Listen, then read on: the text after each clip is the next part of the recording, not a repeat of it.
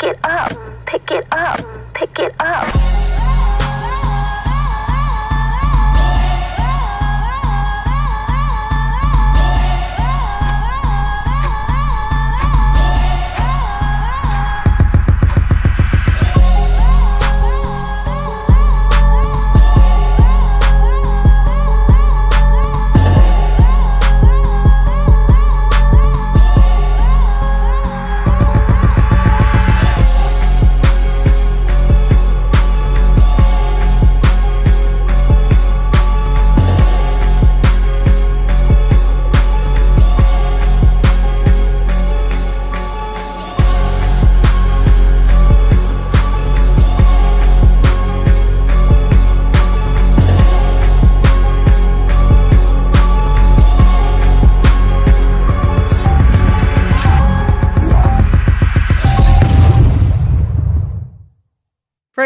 Beloved of the Most High God, in the mighty name of King Jesus.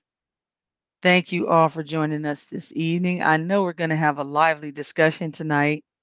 Uh, we have been going back and forth in the chat here about some of the things we intend to discuss with you this evening, and um, I think that it's going to get it's going to get interesting because, uh, as I was just remarking, literally when Ben said, "You got five seconds," um, we are going to earnestly contend for the faith this evening concerning the doctrine of eternal security, which we believe is also directly connected, tied to, and tethered with this the concept of Christians being demon possessed. Okay, and so we're going to talk about that in just a little bit. Sister Angel's getting fired up. She's warming up the fire, getting ready for the heat she's about to bring on this topic.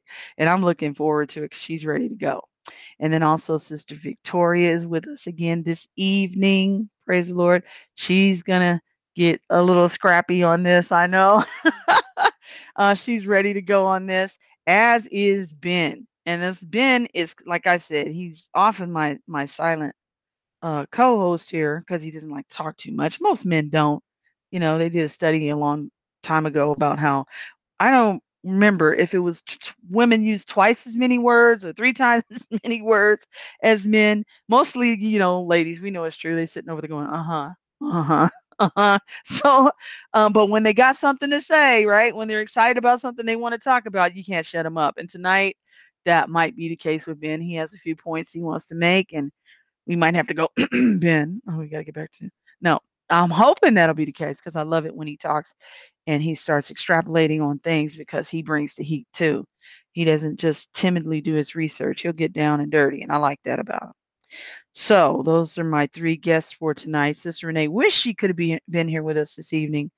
Uh, shout out to you, Sister Renee, if you're listening. I know you wanted to be here. She's here in spirit and she's rooting for us out there. Thank you so very much on this topic because this one is um hmm it's kind of like a hot fire of embers when you deal with it because I remember about 40-ish 45-ish years ago when this doctrine entered the church and one of the people we're going to talk about tonight was one of the not the only but one of the people who you could say you could lay at the feet of them this concept of Christians and demon possession. So, um, we're going to tackle some of that and we're going to show why it is actually even linked to eternal security and why they're attacking eternal security when they say that Christians can be demon possessed. Okay. So we're going to deconstruct this and then we think reconstruct it based upon the scripture on how to properly explain demonic activity in a Christian's life. Okay. Um, so without any further delay, I'm going to introduce my panel. Uh, panel, they're not panel, they're my friends.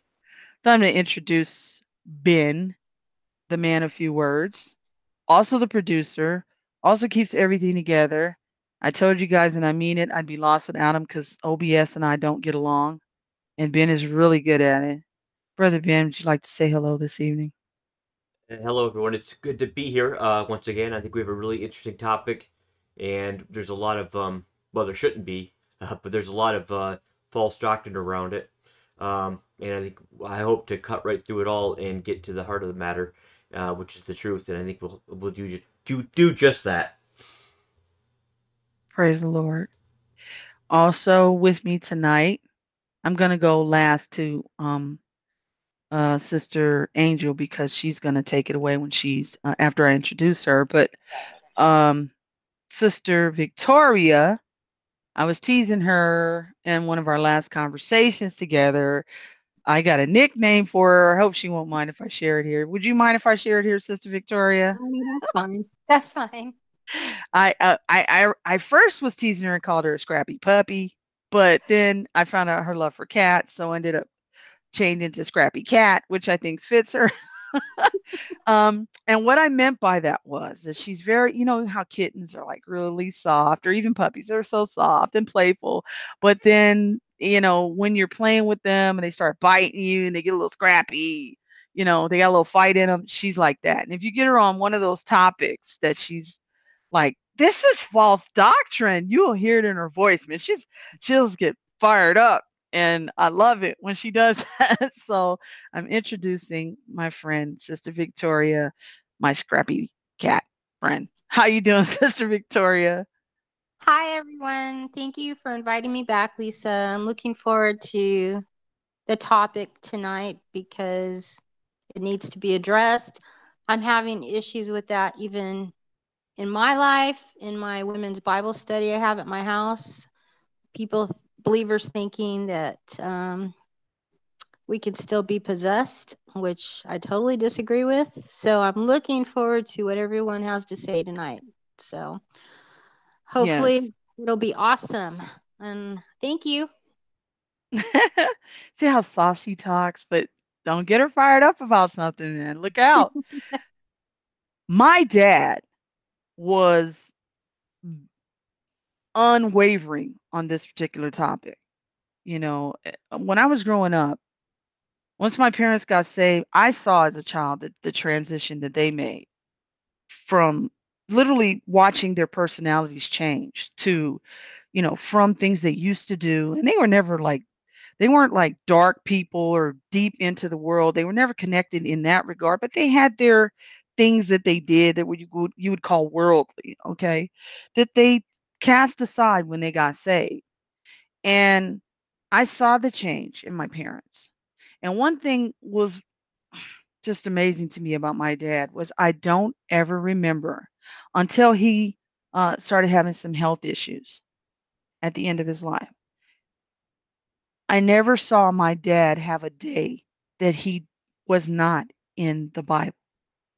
Never. I can't even think of a day. So I mean, I remember I would come to the door sometimes to his bedroom and he'd be laying across the bed and he'd lay on his stomach and he'd have the Bible in front of him, pillow up under him, pen in his mouth, and he'd be studying and he'd have some lexicons and stuff out and he'd be studying. And I'd say, Hey Pop, can I talk to you for a second? And he'd take the pen out of his mouth and he'd toss it in the Bible, close close the book he was reading. And yeah, what what you want? I mean, always that just that was my dad. But when I talked to him about this, we, we had a conversation about Christians and demon possession, and he he was vociferous on this. And my father was a mild mannered type of guy, unless you got him fired up about the word. so on this, he was unwavering. He was like a Christian, a born again believer, cannot be demon possessed. And he explained to me why. And so I've always held that view. Now we're going to talk about some of the other ways that demonic activity can appear in a Christian's life or have influence upon them. But possession from within, none of us believe that mess because there's evidences that we're going to point to, not only in the scripture, but also in, in, in life experiences and things that we're going to share with you this evening. So I'm introducing my last buddy here on the panel, which is Sister Angel Martin. She has a channel by the same name. If you guys haven't checked out her channel, I would encourage you because she comes from a very different perspective. And the things that she shares, I mean, they're just awesome. Because see, I grew up being a believer. I don't even remember a time that I didn't believe in God. So her perspective is completely different. I'm always fascinated and always love to hear people who are converted that come from either different faiths or uh, no faith at all and how they became believers. I just love listening to their testimonies. I could listen for hours because it it's just it they literally in their testimony show you the handiwork of God in their life and how he convinced them as to who he is. Not was, because we serve a living God. Amen. So Sister Angel, go ahead and take it away. Start wherever you want to start on this topic. Well, you know, um, sorry, I was I was actually just uh, getting uh, the Bible verses lined up in my in my Bible here. I couldn't find a highlighter, so I was having oh, I hate having to write in it or fold the pages instead of highlighting. But anyway, so because I have, I think I have like a a pretty good like uh, three point uh, case that sh- you know in terms of verses that prove that this is ridiculous. Um, and there's there's a lot more, but this is just for me. To me, this is what this is what did it for me. Like what settled it. I knew it in my heart already. Uh, for, like it was a foregone conclusion from you know the time I ever believed in the first place because I, I got saved in the midst of dealing with an actual demon in my home um, that you know was you know causing trouble and uh, manifesting and it was attached to my friend and I've gone into that before. Um, and uh, you know that was that was what was happening around me uh, when I actually just you know that's how it has how it happened really because I saw I, you know I saw the demon finally flee the name of Jesus and the Lord's prayer. You know uh, we had not resorted to anything biblical for you know on and off two years at that point. I don't think either one of us wanted to find out that that it would work right? And so you know it wasn't really a faith thing like oh it was just a you know power suggestion. No i didn't want it to work as it was happening. I didn't want to find out that that would be the thing that worked when nothing else had because it would have made me wrong. Uh, it, it worked. And so that's like you know what was happening when i got saved because that really just pushed me over the edge. There was you know nothing else to conclude you know, this thing's by the name of Jesus. It was just case closed there for me. You know, Jesus is Lord. Bible's true. And um, I uh, I had feared demonic possession my whole life as a little kid, even though I didn't believe and I was, uh, you know, I would have said I was an atheist as a kid. Um, I somehow knew demons were real. Somehow, just like deep in my gut, knew that they were real. And my dad, like, a, like an idiot, let me see The Exorcist when I was four. Uh, and I was traumatized from that point on. And I was very afraid of demonic possession. So to me, the notion that people think, I don't know if they just take it very lightly or something, or like they don't realize just like what a horrific idea it is that not only like can our believers not safe, they're not protected, which means no one's safe, which means um there's nothing you can do whatsoever to, to, to like, you know, even ideally, I guess, I guess a lot of the people that teach this kind of crap, deliverance or Christians, they, they tell you that it's, you know, based on the sin in your life, that that's the level to which you're vulnerable to demons. And it's, it's, it's totally ridiculous. And think what a horrific idea that would be, you know, like, oh, am I sinning too much? Am I going to possibly be, you know, vulnerable to demonic possession?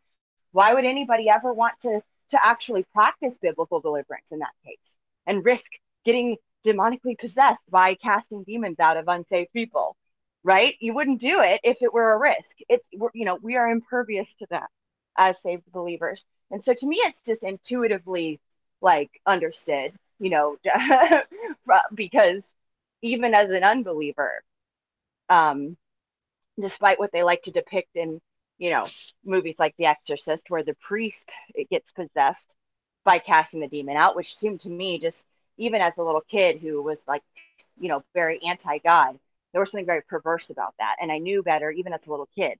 I knew there was something wrong with that idea. I didn't know exactly why, but I knew that like if God were real and Jesus were true, you're, you know, I, somehow I knew that there was something wrong with the idea that a man of God not that a priest is a man of God, but you know, let's you know, purportedly, a man of God would uh, be possessed by a demon, um, especially in the in the process of casting them out of other people, right? So um, that was something I never really, I just took for granted. I just uh, knew in my heart, but um, uh, I, you know, I, I had found a lot of people that believe the true gospel kind of just take it for granted. They don't kind of, you know, really go out of their way to look into it too much because it's just an absurd idea on its face. And so when um, somebody confronts them with this claim, which the most sophisticated form of it that I've come across so far, because I, I have a video on my channel where I uh, rebuke Derek Prince, the late Derek Prince, because not only did he teach that believers could be possessed by demons, but that uh, one demon he cast out of a believer was the demon of eternal security. And I don't know if you guys want to go ahead and play that clip. So, you know, just to start it off so people even know what we're talking about. Yeah, I think that's a good idea. Yeah, me Yeah. too. Oh, Go ahead. oh, okay, I'll, I'll go and play it now.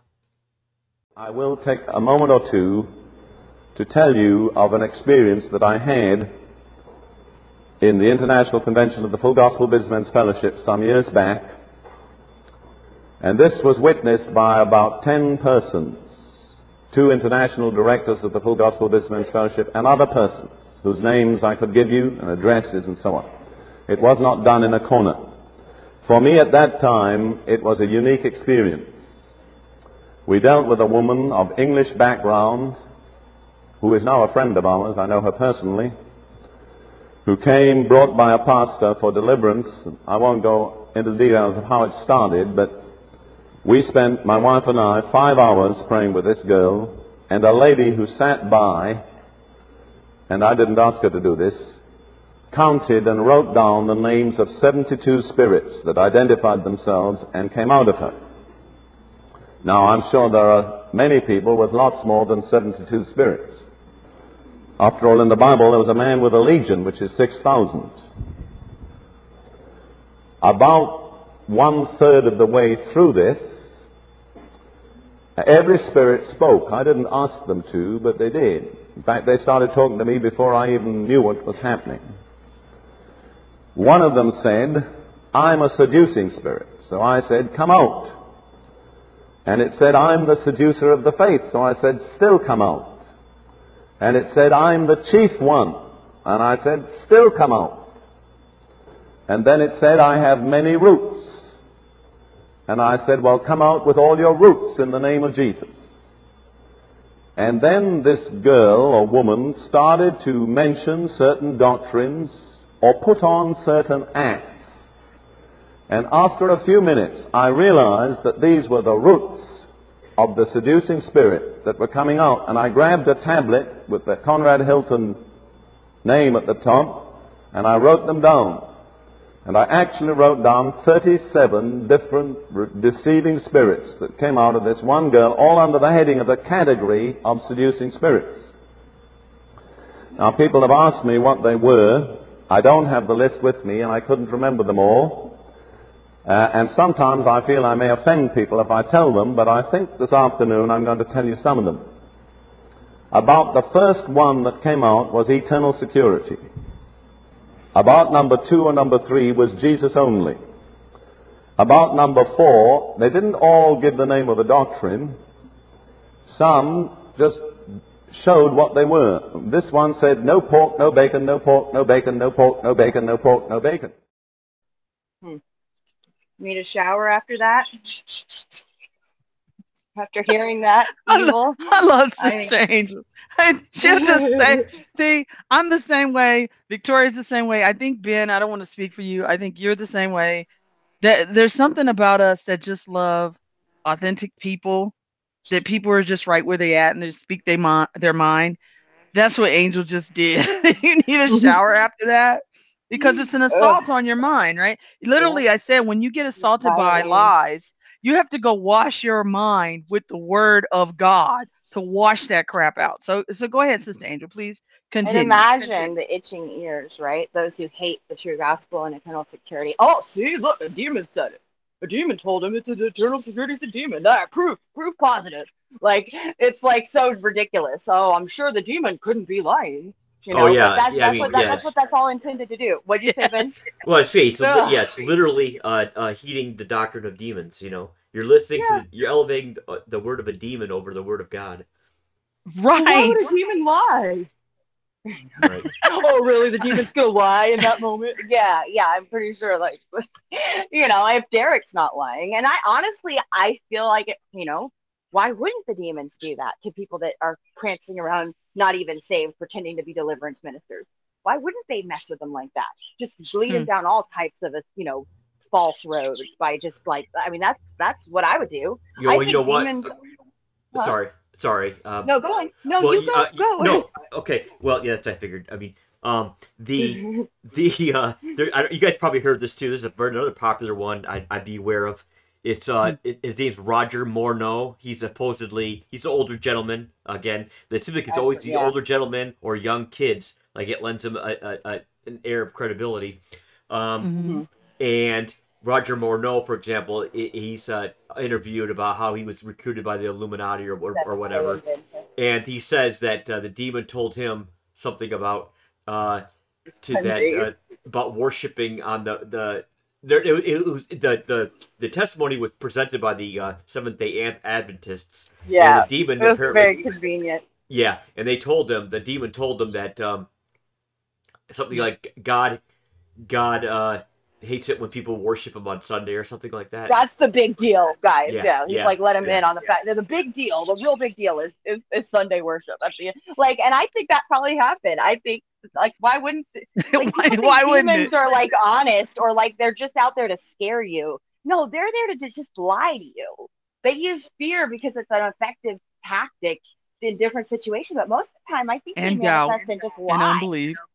Yeah, yeah. Mhm. But that would be the perfect thing to do because he would believe it from then on. Well, the demon told me.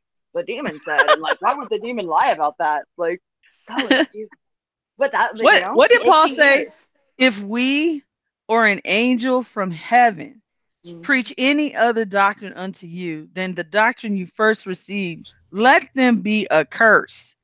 So if he said even an angel from heaven, he didn't even say he didn't say a fallen angel. He said an angel from heaven came with that.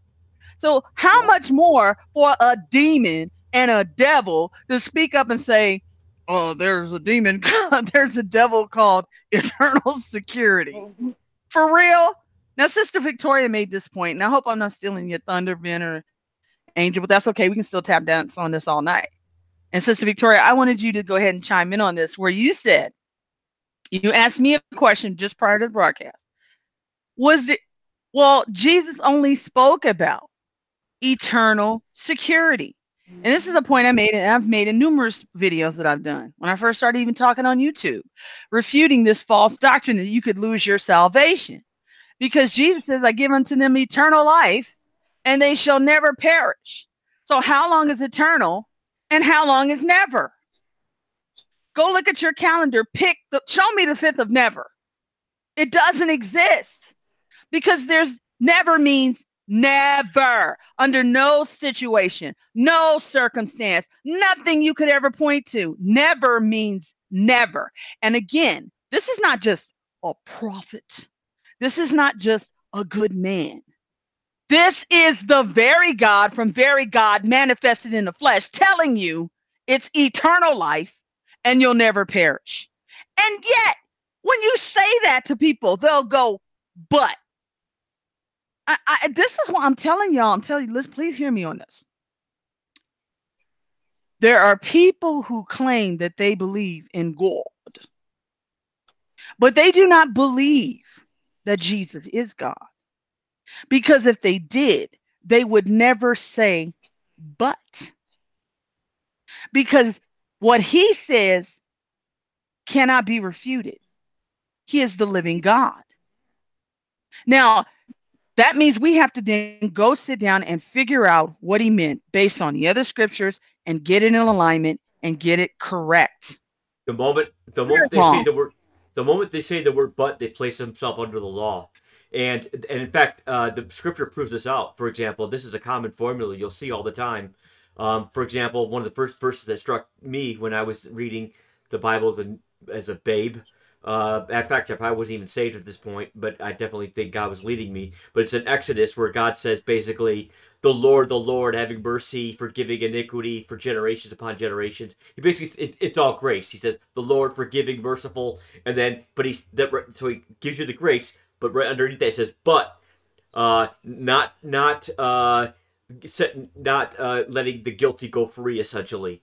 And then you see it's again in like the blasphemy of the Holy Spirit. He says, every sin and every blasphemy, including the blasphemy of the Holy Spirit, uh, will be given men, forgiven men. But those who blaspheme the Holy Spirit, which again in the context, the Holy Spirit, the idea was that he tried to show them, hey, you guys are all about outward appearances and, and the, the physical uh, earth earthly principles, and you're neglecting the things of the Spirit, which is love and mercy and grace. And uh, it, it, and to call grace, you know, uh, greasy grace is to really kind of it, it, really to blaspheme grace um and you know just which again blaspheme just basically means to speak ill of essentially. Um but again you see that formula where he says you know every sin every blasphemy will be forgiven men but uh he who blasphemes the holy spirit. And then again you see it in revelation at the very end where it says you know he who desires the uh, the water of life come freely um you know without cost or price but anyone who adds these words or takes away from these words. So again, you see grace over law. Uh, mercy triumphs over law. And so as soon as you hear that word but, they, they place themselves under the law and, uh, you know, God's not mocked. Um, they can try to use wordsmith and use, you know, sophistry uh, to try to explain it away. But the moment they entered but, they've entered the law and they've condemned themselves. Uh, and, unless they eventually come to the point where they don't have to put that button there anymore. Yeah. I mean, it's it's actually blasphemy when they say but, because Jesus is God. Great is the mystery of godliness that God was manifest in the flesh. We have the living word testifying of the things of heaven. Jesus said, if you don't, if you don't believe me when I'm showing you earthly things, how are you gonna believe me and understand when I when I start speaking about heavenly things? Now, here we have him saying eternal, everlasting, never-ending life uh, old Baptist preacher I love once said, he said, a believer in Jesus Christ could swing out over hell with a rusty cornstalk and his feet will never touch the flames of hell. That is God's guarantee. That is his stomp down righteous promise. Listen to me. I want y'all to listen to me very carefully. A lot of these people, if they do go to a true man or woman of God that does cast a devil out of them, they were not saved. They were religious. Now, yep. they can cast the devil out of their life, out of their homes. Okay. When I say out of their life, I mean getting into their affairs, stirring up trouble, that kind of thing. Because we do know devils get demonic assignments. They get assignments to go do things, they get sent by witches and all that stuff. And I've said that people can get in agreement with the devil. If they're a born again believer, they can do stuff they ain't got no business doing, like reading their horoscope every day, or messing with a Ouija board, or playing with tarot cards, or going to some psalmist somewhere, uh, a palm reader, and getting that done. Christians do this crap, okay? Mm-hmm. Going and reading a witchcraft book and bringing that mess into their house. Uh, yeah, and y'all ain't gonna like this one. Don't care. That satanic music and go getting that stuff and bringing it in your home, and demons can enter that way into the person's life, but into their physical body. The Bible says that our bodies are present tense, the temple of the Holy Spirit. We are not our own. We have been yep. bought with a price. We are his possession. Now, see, this is why I say, I'm sorry, Sister Angel. Go, no, sorry, sorry. Yeah, no, I was just. Uh, are you just saying amen? Okay. Uh, yeah.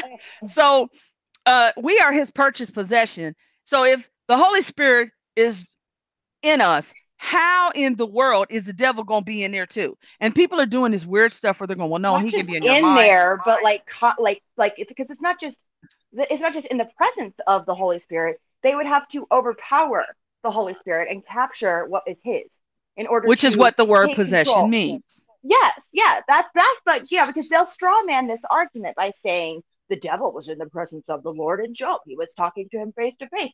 That's not, that's not, that has nothing to do with what we're talking about. We're talking about a de- now first of all we're also talking about a demon a lowly demon spoiling mm-hmm. the temple of the lord and overtaking it and and being able to uh, uh, use it as, as as you know at its at its good pleasure as i mean and this is what i wanted to talk about i have this little these this like three verse walkthrough mm-hmm. that should help people tie this together about why this isn't uh why this because you know the bible does the bible doesn't specifically like address this in, in just one place. It talks about why this isn't possible over and over again in many different ways. And we're supposed to draw, you know, line upon line, precept upon precept.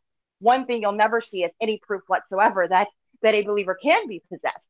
But it, you know, these verses that I have compiled, if a believer could be possessed, then basically the writers of the Bible and Jesus himself are just total like either crazy or they're sadistic. I mean, for some of the things that they said, it, it would make no sense in the context of scripture.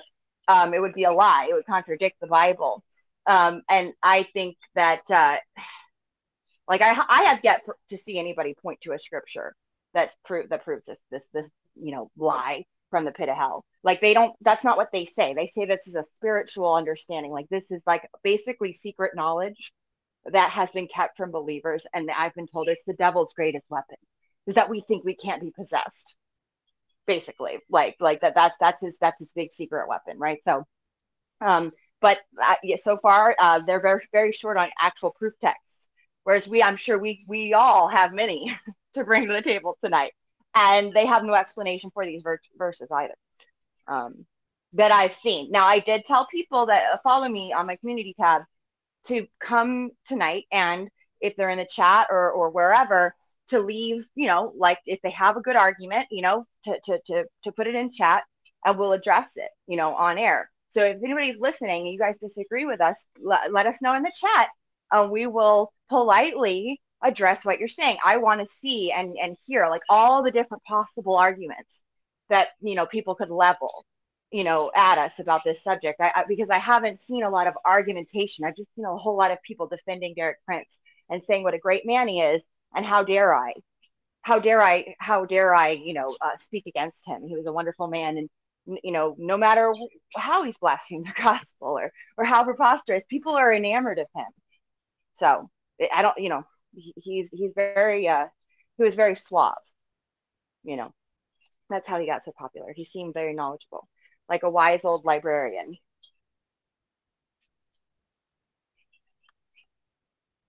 Well, mar- marvel not if for a, it, Satan himself can uh, mm. masquerade as an angel of light. You know. Yep. Oh, yeah, I mean, okay, are we going to esteem men? Or are we going to esteem the word of God? I mean, this is what we go to in all matters of faith and practice as believers. This is what keeps us steady. We have a more sure word of prophecy. We have an anchor with the word of God that if we start to drift in an area, the word is what's going to keep us properly aligned with Christ. It's going to make sure that we have the mind of Christ. I don't want to have the mind of Derek Prince or any other preacher. I want to have the mind of Christ. So then, in keeping with the doctrine of Christ, he said, Greater is he that is in you than he that is in the world, right? His word says that. When he said, I give unto you power in our bodies. Yeah, he said, I give unto you power over all the power of the enemy, and nothing shall by enemies hurt you. That don't sound iffy and shaky and wobbly to me. So, do you know, I'm personally of the opinion that if a believer, a believer in the Lord Jesus Christ, born again, blood washed, right? Born of the Spirit, sealed by the Spirit, makes a decision that I'm tired of this crap and I'm sick and tired of being sick and tired and the devil whooping my behind and stands up wearing the whole armor of God and doing exactly what the scripture tells them to do, they can cast the devil out themselves. Yeah. And I'm not talking about out of their bodies, I'm talking about out of their life. Out of their family and other things that's going on when he comes to stir in, tr- stir up trouble and and do stuff. The, the devil is always busy. We're supposed to be always looking out for that sly serpent and ready to cast him out at a moment's notice from anything where we find him. But a lot of time believers just roll over and play dead. And this is what I was talking to Ben about how when people do not do what the word of God says for them to do and place their faith and trust in the Lord, they bring themselves under a curse. Because now you're turn you're turning to other things that the Lord never intended nor desired for to for you to grab hold of. When we're supposed to be grabbing hold of him and trusting in him. And Like so they it, burning sage to get rid of evil spirits. yeah, just, like that. yes, crap like that. Oh my gosh. Such an Okay. insult. It Just is. imagine. Yeah, the Holy Spirit, you got the, the authority of Jesus Christ, and you're sitting there messing around with, you know, sage and, you know, salt on your door and stuff like that. But, you know, it's good because it's fun. Everybody wants to be able to feel like they can tinker. They've got all this, like, oh, I've got all the tools in my demon arsenal, you know, and it's like too boring for people, I think. They think a lot of people just get so, it's, it's almost like alluring. So it's almost boring to make it as simple as you're a believer, you're saved, and still you have the power of the Holy, you know, you have the, the guarantee and the protection of the Holy Spirit in your body. Because, by the way, that's another point. They claim they, and I guess this is how Derek Prince would argue this. I, I, from what I understand, this is what he said. He said that um, uh, the believer's body can be possessed. You know, and people even who believe in eternal security who hold to this say that the spirit is sealed and saved, but the body is condemned and can be possessed. Now, that's all I know of ever being possessed. I see no distinction there. I think that's what demons possess, right. believers or, or, or not, right? But um, our body belongs to God. Our body is is not like it's not. This is like a Gnostic idea to separate our body so much away from the rest of us, as if it's not one and the same. Our body is going to be glorified.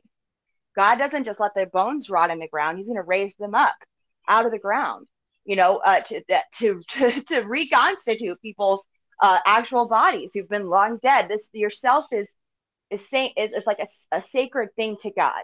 The, the the notion of self. He, it's not divisible. Just as the body of Christ is not divisible, He's not going to divide you. You know, you in terms of like your your permanent identity. It's not like our bodies are just going to be thrown on the uh, you know the the wood pile where they're going to be glorified he's going to, to fix them but they are who we are they're part of us that's like part of our triune nature basically. So people but they act like the, the, the demons can possess the, the believer's body. And this is a you know we know that the body is very literally the temple of the lord for a believer. And so that's actually what i wanted to state real quickly before before we go much further because i think a lot of us are probably going to go back to these verses. And i really want to to just say them in order so people like to, to where I can try to walk people through um, why these verses, you know, all together have to mean what we're saying that they mean. Because, you know, if people aren't very good with literary analysis and like reading comprehension, it might, they might not understand how they relate or, but it's like, I'm going to try to like build this case really quickly um, uh, to show them three things the Bible states that, uh, you know, unless they can point out, you know, how how this, you know, doesn't mean what I think it means. Um, it, you know, it, it's it's ridiculous to conclude that uh, the Bible even would allow for demonic possession of believers. Um, so the first uh, verse we're going to start with is uh, Matthew 12, 43 through 45. And um, in this verse, uh, well, I'll just read real quick. When the unclean spirit is gone out of a man, he walketh through dry places, seeking rest, and findeth none. Then he saith, I will return into my house from whence I came out. And when he is come, he findeth it empty, swept, and garnished. Then goeth he and taketh with himself seven other spirits more wicked than himself, and they enter in and dwell there. And the last state of that man is worse than the first. Even so shall it be unto this wicked generation. Now, uh, so you know, obviously, the house is a is a metaphor for the you know the body. We're talking about uh, the demonic or you know demonic possession in this verse, and uh, Jesus warning about sweeping the house of un- of, of the unclean spirit, um, and basically making it even more inviting uh, for even more and worse spirits to return. Right now, if there's no way to prevent this, why would Jesus even be telling us this? Why would he even warn us about this as, as though the implication is, is that there's a there's a better way. We don't want to sweep the house up, clean it up, garnish it, uh, uh, uh, basically make it even more appealing and uh, and leave it empty and unoccupied and vacant for even more spirits to return because you'd be even worse off than you were before you cast out the first spirit. So if there's not a solution and there's not a way to prevent spirits from being able to possess your body, why would he be telling us this? Because it would actually mean that you better not even cast out the first spirit that you know that's possessed you. Because really uh, if you do that seven more will come back. Because once you cast out the spirit that's possessed you you know then you know some you know your your body your house will be even more inviting for more and worse spirits so really if there's no solution and there is no way to prevent possession then we shouldn't be doing deliverance whatsoever because we're actually risking people being in an even worse state than they were to begin with because even more spirits will will enter you know and and and you know the verse clearly says worse spirits than the you know than the first one um, and that you're you're going to be worse off right? So i i hope people understand that like the implication here uh if even being a saved and sealed believer doesn't protect you from demonic possession then this verse is just basically him you know kind of rubbing it in just rubbing in like how crappy it's going to be until you know until we uh, you know until we are glorified i guess um eh, you know until we leave this mortal coil because we're always going to have to worry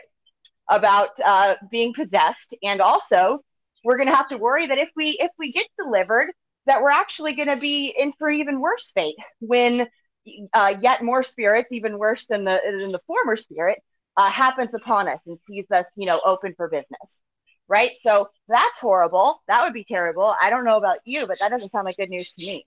So we're going to go really quickly to um, Mark 3:27.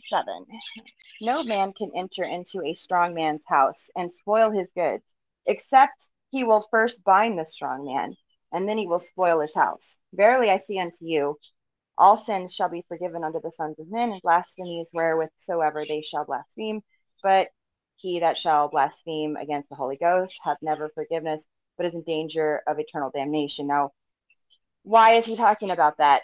Following this, uh, this, uh, you know, metaphor, I guess you would say, or analogy with the strong man and uh, spoiling his house, because that was, you know, they, the, the, the, strong man of his house and a believer's house is the Holy Spirit, right? That's what that's what he was referring to. And no man can enter into a strong man's house and spoil his goods except he first uh, will bind the strong man and then he will spoil his house. Basically, if you're trying to ransack or, or rob a, a, a, someone's house, and there's a, you know, like my dad with all of his guns and his like, you know, six foot two frame in there, you're gonna have a tough time. You're gonna have to, you're gonna have to subdue him first. Whereas, you know, if it were an empty house or even just, you know, some like just little old me in here, it wouldn't be too hard. It would be really, you know, relatively easy to subdue me. This is something I think we all understand. Um, so this is an important verse because actually this verse was pointed out to me when I first got saved in the midst of dealing with the spiritual warfare in my house with my best friend who, you know, she was a victim of, of bloodline, you know, ritual abuse and mind control. And um, I had consulted a guy named Marion Knox. Now, I am not uh, endorsing him. Uh, I have uh, a whole lot of questions about his understanding of the gospel subsequent to all of this. Um, but he did uh, actually like give me a very clear and accurate gospel presentation when I when I um, contacted him for help with my friend. At, at, you know, and he really laid it out for me and answered a lot of questions uh, right after this whole incident with the demon fleeing the name of Jesus. So it was like a really crucial time for me. And I do appreciate that he did that. And he had a lot of uh, wisdom when it came to how this, these spirits operate. And, um, you know, and he had some, he, what he did was he, he at least claimed to have delivered something like 500 victims, similar to my friend, from uh, the bondage of, of you know, uh, ritual abuse and mind control and possession. And um, he, you know, he made it very clear to me that the only solution to what we often refer to as uh, uh, programming, mind control programming, Luciferian ritual abuse, all that is so you know the person believing on the Lord Jesus and and uh, being involved with the Holy Spirit, and that will free them of of all of the ritual uh, uh, demonization that's been done to them over their lifetime. It's really that simple, and that's the only thing that will work. That you know, and that's that's what he explained to me. Now he was using this verse, talking about the strong man, and he also said that you know a lot of these uh, families, these uh, cults, they have a kind of a, a, satanic inverse of this verse. Like they they kind of uh, uh mimic it. Um, and I forget exactly how he all, he applied it, but he said this was a very important verse in terms of spiritual warfare that you know was very rarely discussed. And and so he explained to me about the Holy Spirit being the strong man of a believer's house, and that that's the that's that's the reason that the only solution to ritual abuse and generational cursing and and this demonization that's done to these people that are born into these families is salvation is the holy spirit. Because then the holy spirit becomes the strong man and not, and no matter if they try to get their paws on them again or not it's, it's not going to work. And so right off the bat dealing with you know a guy who you know from what i understand i mean he's had articles written about him. He's very well known in these circles as somebody who for free basic you know spends all of his time talking to people like my friend and uh, uh, trying to help them out of uh, this horrible reality that a lot of these uh, people find themselves in when they're born into these families. And so um, I and I don't hear a lot of people talking about that verse, but that's an important concept because if we understand that a house symbolizes uh, the body and you know that that's uh, that these are two things used interchangeably and we understand that the body is of the believer is literally the lord's temple which i'll uh, let me just flip here to corinthians. I think we all know this but just to be thorough. Know ye not that your bodies are the members of christ? Shall i then take the members of christ and make them the members of a harlot? God forbid. Now that's just one of many verses uh, discussing like the very literal reality that our bodies belong to God and to the Lord Jesus once we're saved.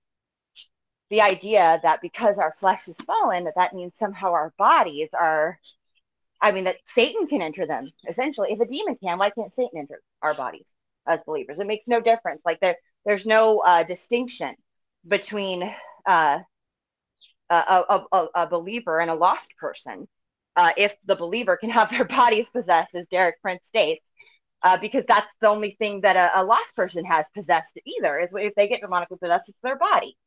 Uh, we, we don't have any reason to think that any other part of them gets possessed. It's just, it's their body.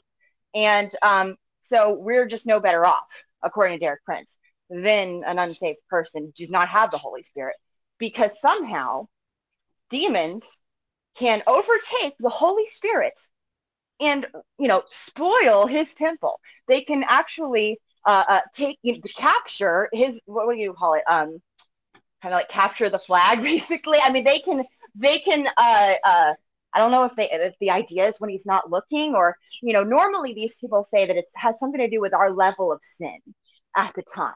Basically, that our sin, um, uh, and you know, basically where we're at in our walk can determine our vulnerability to these these unclean spirits um, which totally like misses the point that uh, take us out of the equation for a second this is between the holy spirit you know the lord god himself and these lowly demons which i mean these people say demons are very powerful you guys don't understand you don't understand how powerful demons are i had somebody say that to me and i'm not trying to if you're listening i'm not i'm not trying to make you feel bad but do you hear yourself you don't understand how powerful demons are. I don't think you understand how powerful God is. I don't think you understand how powerful the name and authority of Jesus Christ is. I don't think you understand how powerful the Holy Spirit is. Uh, you know, I, I don't think that it's it's uh, we're not called to exalt and uh, you know and you know wonder at the the power and the and the might of demons we're to be respectful. We're not supposed to, uh, you know, uh, run our mouths basically uh, as if you know we're, we're you know we're tough and we don't really understand all that they're capable of. We don't understand uh, the things that they know. We know that they're, you know, they're a lot older and a lot wiser than us. So we're not supposed to get um, uppity, you know, when it comes to spiritual wickedness. But Right. uh, we're not supposed to put That's them not our pedestal. power. Yeah, and compare their abilities to those that, like to, to the Lord, to the Holy Spirit. I, I mean, the idea if they can take his temple, that means they are on par with him in terms of power and authority. I don't understand. Like that doesn't. Uh, like you, you couldn't imagine some little podunk country right now trying to come take over the U.S. by force, right? Like let's think of a, a real podunk out of the way country. You guys, can you name one? Um, um, I don't know, Mongolia. Let's say Mongolia. Or do we, we're, we're not worried about that. We're not actually worried about Mongolia invading us and taking us over. Why? Because the notion's preposterous. Because we have a much more powerful military than they do. Uh, Mhm. at, you know, that's just the fact. Not not to say anything bad about Mongolia. Mongolia is pretty Right. awesome, actually, but it's ridiculous notion. But when you're saying that a demon can do this to the Lord's temple, you- you're you're you're saying that they are they are somehow uh, uh, on the same level of power and might as the Lord, or that what he's going to be caught unaware because what? Because of how much sin we're committing. Mhm. like you know that that's the that's the thing. The sin is is not the issue anymore, and that's why it shocked me to find out people that actually believe the correct gospel are buying into this. It was one thing to find out to know that people who don't really believe the gospel they they haven't ceased from their works in terms of salvation. They don't really trust Jesus. They're just still trusting themselves. They still Mhm. think that they have to attain or maintain salvation via their filthy rags that you know they they have an entirely like you know uh, like overblown uh, uh, perspective of in terms of like like you know what they what they think their efforts mean to God um, that they can somehow impress him. Um, I don't I don't expect them to understand why believers can't be possessed. They think you can fall in and out of salvation. They think that God is so sloppy and flaky that he would write the whole Bible, you know, inspire the whole Bible and be so exacting and so Mhm. exhaustively detailed in Mhm. all these ins and outs of the Old Testament, the Old Covenant, which were largely irrelevant for the majority of history in terms of like the gospel out to the Gentiles. Doesn't none of that that stuff really matters to us unless it's a symbol of something else, right? So he's going to be that exhaustive and detailed and how and, and, and, and, you know people you know it's kind of the old testament is kind of famous in some places for just like what an autist god is about all of the little tiny ritual details and the and the and the legal details of how everything works because you know why? Because god is so fair. He needed to Mhm. make sure. Nobody could claim that he did not provide them with adequate information in order for them to do what he was asking of them at the time right? Because uh, it Mhm. was it was too important. So he was abundantly clear and he repeated himself over and over again. So there could be no confusion. And yet that same god would fail in the new covenant to give us the exact formula the exact equation the exact ratio of good works to bad works one must maintain uh, at all times of repenting to not repenting of of of um you know thinking to do good um, and failing to do so versus actually acting on the good you thought to do. All of these things that need to be somewhere. I mean you know only god could know according to these people. They think he would leave that up in the air. If we look at the bible that we know today uh, and the and the new covenant we understand today we would none of us would have any way of knowing at any point whatsoever where we stood with god if we could fall in and out of salvation based on our walk because he provided no such information. He did not give us any way to figure that out. We would be in constant fear. And we, and, and and honestly we would people could charge god all day long at the judgment seat with not providing adequate information you know with which to perform the desired task. That's basically it, it would be like having laws and and and uh, charging people for breaking the laws, but you never told them what the laws were. You never even codified them, never wrote them down for even anybody to consult. Uh, that's that's what it would be like if God failed to tell us exactly how we could know at any given point exactly where we stood by adding up all of our good to bad works, you know, of late. And all of you know that it, it would be impossible. It's not possible to provide that kind of information. Uh, but let's say it was that's what would be required if we could lose salvation. The reason that he didn't do that and the reason he said what he said is because it's actually very it's just as simple as believe believe the record of his son believe that christ christ was the one who did all of that all of that all of those mathematics all of those equations. He was sufficient and the answer was guess what? Perfect 100% no sin no no you know no ratio of good to bad works no bad works all good works all perfect. That would be the answer. That's what's required for eternal life. Um, so that's why there was no equation provided to know where you stood with god based on your walk so far. Um, it, because it was just as simple as what he did say. And people who think they can lose their salvation but they also claim they believe in the grace of god they don't understand. There's no you can't have it both ways. If you can lose your salvation based on your works then you're working for salvation. It's just maintenance works. It's, it's so like this is the why he warned against double-mindedness. These two things are uh, are completely contradictory. Uh, loss of salvation and the, uh, the gospel of grace. Not it, it, it actually is as simple as it sounds. That we are to believe. When asked what must i do to be saved? What was the response? Do you not think that like the, the like well the bible you know i'm sure more was said than just that but this is what was recorded. No that's not how it works because god has god has to, is so fair. He has mm-hmm. to know like nobody can accuse him of leaving out like need to know information right? right. This is the so so it was believe on the lord jesus christ and thou shalt be saved.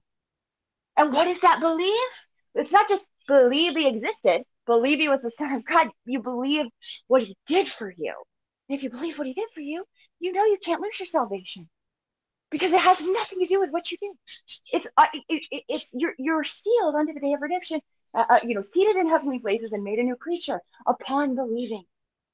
And, and God made it that way because if there was anything we had to do besides that one moment of belief and faith, none of us would be saved because we would always screw it up. So it is that simple.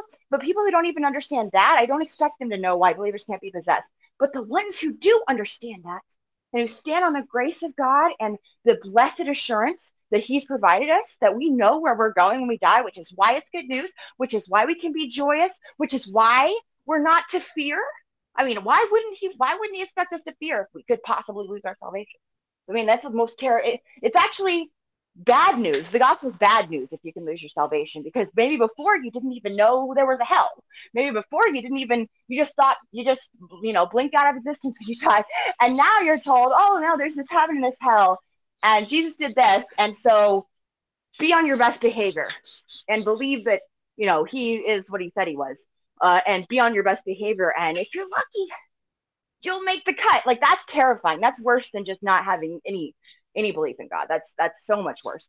But especially because there was nothing provided in the Bible to where we could know where we stood. Like that's I don't under that's so terrifying. that's worse than that's worse than the infinite void of nothingness when we die. It is much worse. Uh, so uh, the point is, if if even people who are uh, who are uh, who know enough, who understand God enough to know that the, the you know once saved always saved is actually the gospel can fall for this um i think we need to go into why. What's the what's the allure? What's the temptation? Why are people there's they have itching ears really. Like because a lot of times when you try to confront them or or rebuke them or explain why this isn't why they're why they're wrong it's almost as if you're raining on their parade i've noticed at least. It's almost like they want to believe this. Well, and so well, i'd like to know like what a, you guys think about that. What girl? You said a whole lot. Sorry. no, I didn't want to interrupt you though, because you were on, definitely on a roll, and I was getting fired up by it. As a lot of stuff I could have said amen to, um, but I didn't even want to interrupt you. But I, I want you to be able to catch your breath. Yeah. Get a sip of water for a second, okay? Cause hold on to your so, thought about it's exhausting to state the obvious.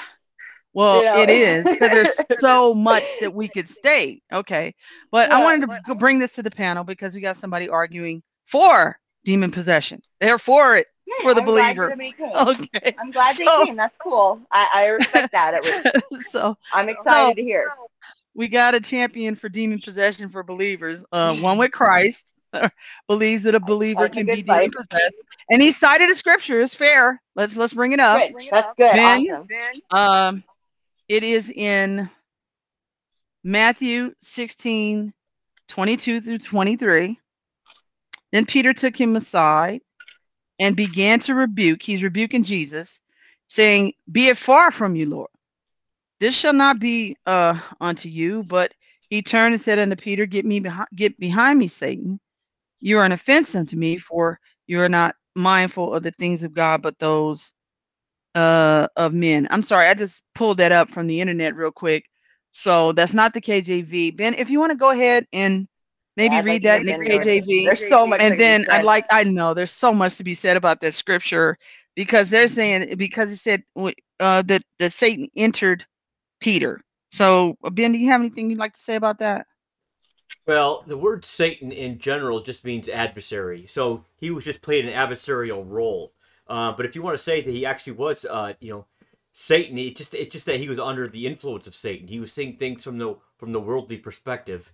Uh, that does not prove that at all. In fact, the Bible goes out of its way to say Satan entered Judas, which we know was an unbeliever. And it doesn't say that of Peter. He just says that Peter had the mindset of the world, wasn't thinking on the things of God and the way he uh, does things and and what what his plan was. He was thinking of his own uh, desires, essentially, not to uh, see Christ crucified.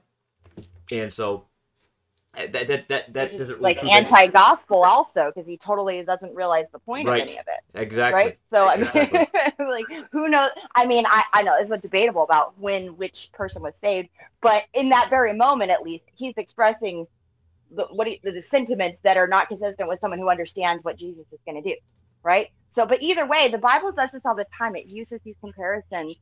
You know, you are that Elias. Was he literally Elias? You know, they're th- like like it's a uh, it's a figure of speech uh, when you know, I think the Bible would have done more to record this this moment where you know Matthew was literally possessed by the devil. Um, he was speaking in the spirit of the devil at the time. It was the Antichrist, you know, uh, mentality. Uh, what, but he didn't know it. It was his love of Jesus that caused him to do that. But it's still Jesus is not just speaking for his benefit. He knows these words are going to be recorded and read by all of humanity for the rest of you know the rest of our time here until his return. So he is you know doing two things at once and he's he's explaining that this is the spirit of, of you know of satan who would seek to prevent me from doing what i must do because what i must do will save you know uh, the, the whole world especially those who believe Right. he even says in that verse, he says, "But he turned to turned and said to Peter, Get behind me, Satan. You are an offense to me, for you are not mindful of the things of God, but the things of men." So Yeah. again, it's it's about having the his mindset was not right. So he calls him Satan in that respect. He's an adversary to mm-hmm. the things of Yeah. God. Yeah. Well, this is what I asked one with Christ. I said, Well, you're arguing this position. What is your explanation as to why Jesus didn't cast the devil out of him? yeah So I'm, I'm still waiting for the answer. I mean, in fairness, you put the At scripture up. I asked you to give me one example as to what you thought was demon possession in the new covenant in a born again believer. And that's the scripture you pointed to. So, okay, then you should have an explanation as to why Jesus didn't cast the devil out if he was possessed. Amen. Good call. nobody did even subsequent to that i guess everybody just let him keep being possessed for the rest of his life right So I think most of us understand that when we see that a person, a believer, can be used mightily of the devil. They can even be in agreement with Satan and speak things that are against the scripture. That doesn't mean they're demon possessed. Yep. And I know Okay, so- Derek Prince used the word demonized, but he claims that the man in the tombs was demonized.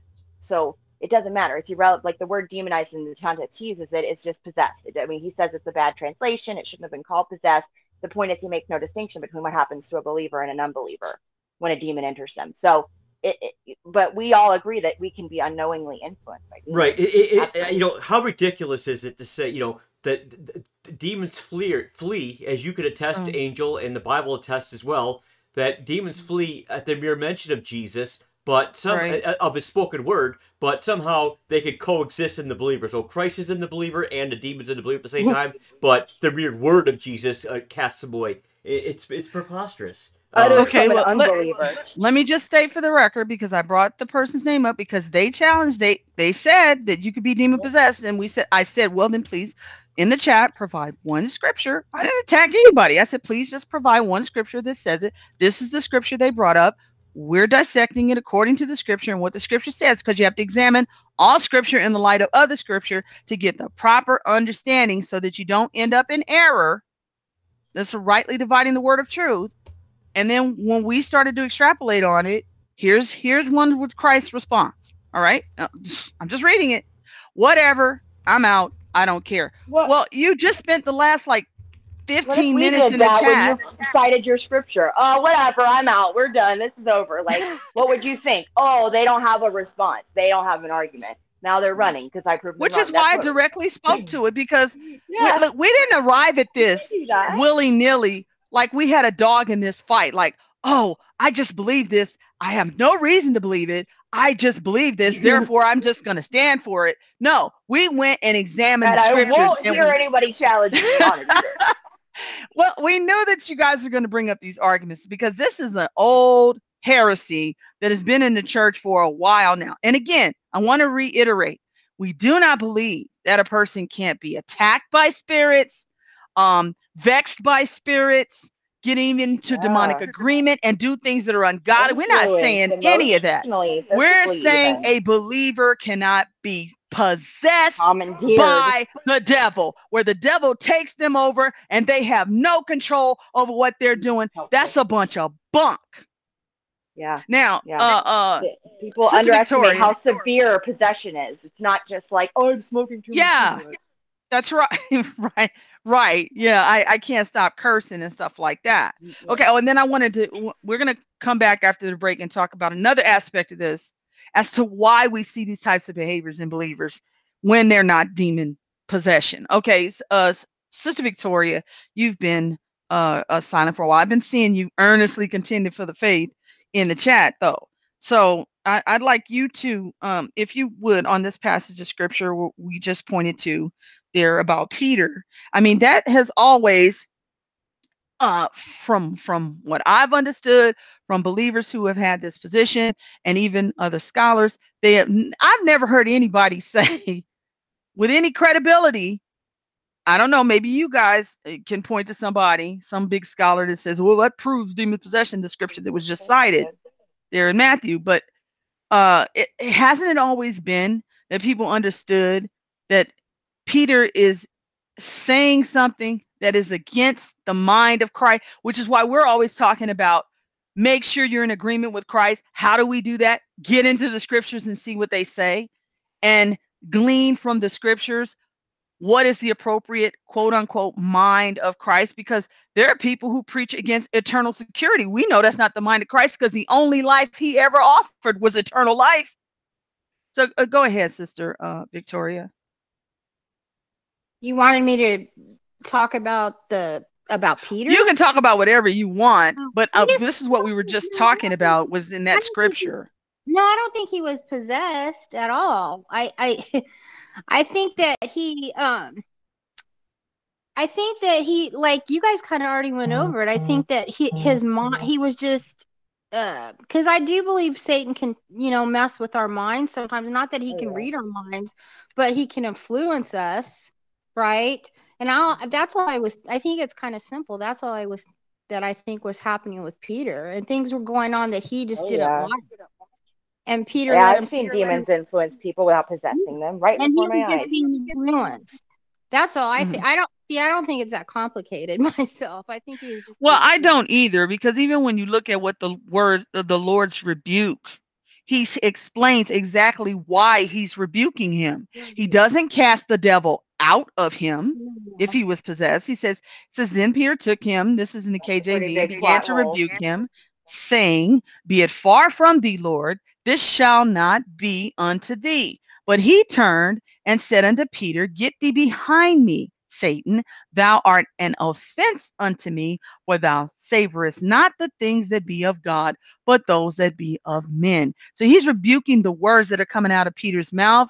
But like I said, Jesus has been running around casting the devil out of people. So why would he leave the devil in Peter if Peter had the devil in him? and right before that, and right before So that, one of you is a devil, Well, not it- two it- of you are a devil. Exactly. Good True. call. Good call, Angel. And also Yes. in, in Matthew 16, the, a few verses back it up a little bit, back up the truck to verse 13.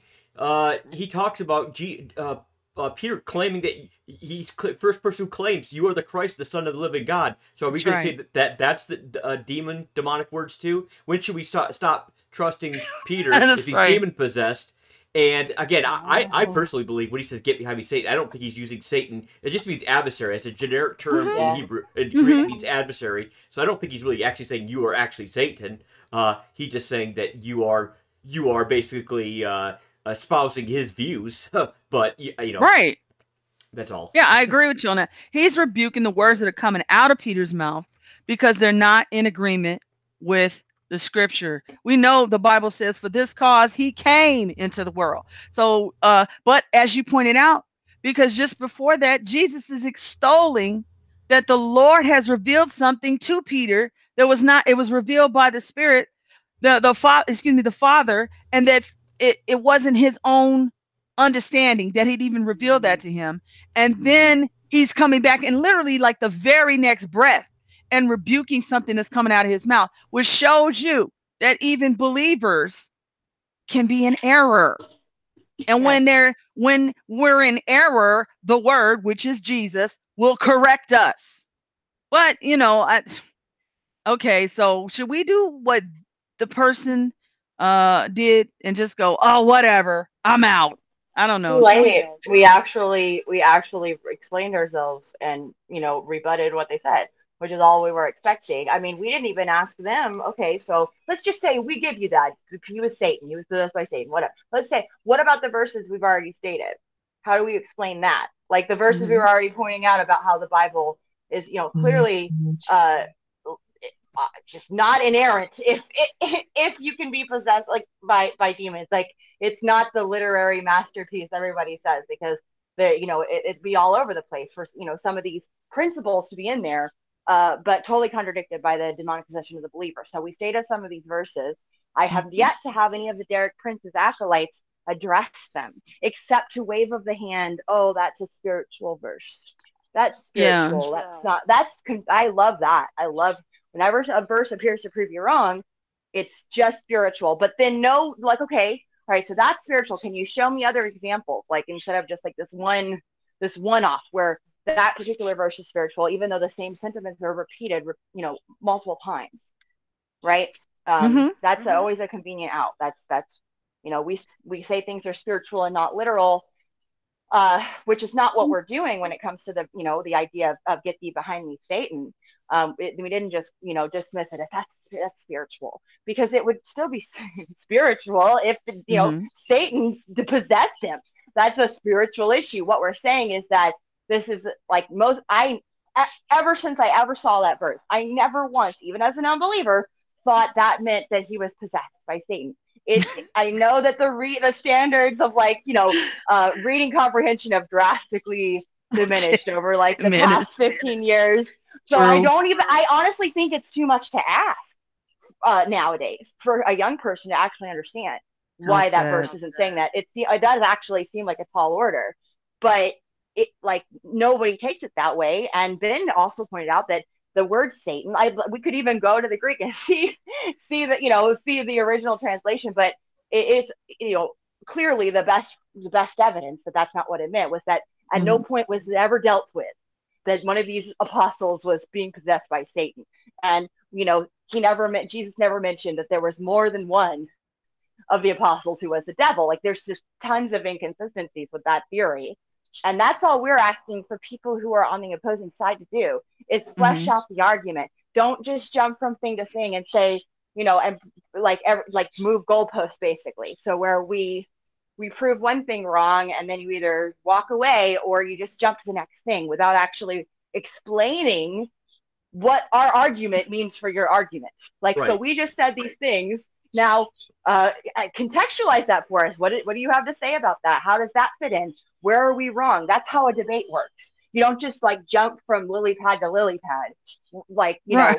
trying Yeah, to find argument has to somewhere to get us because there's a trail of things that you haven't accounted for. You know, exactly, exactly. Yeah, it has to be coherent. Every biblical doctrine has to be coherent, has to harmonize. And so, That's right. yes, there are a lot of verses that seemingly contradict each other. But then when you uh, compare uh, all the put, you know, line up all the lily pads, if you will, you see that it makes a nice path if you connect all the dots. And uh, that's that's how you come to sound doctrine. Uh, you don't take one ver- pet verse and say, "Oh, yep, see, Peter was possessed."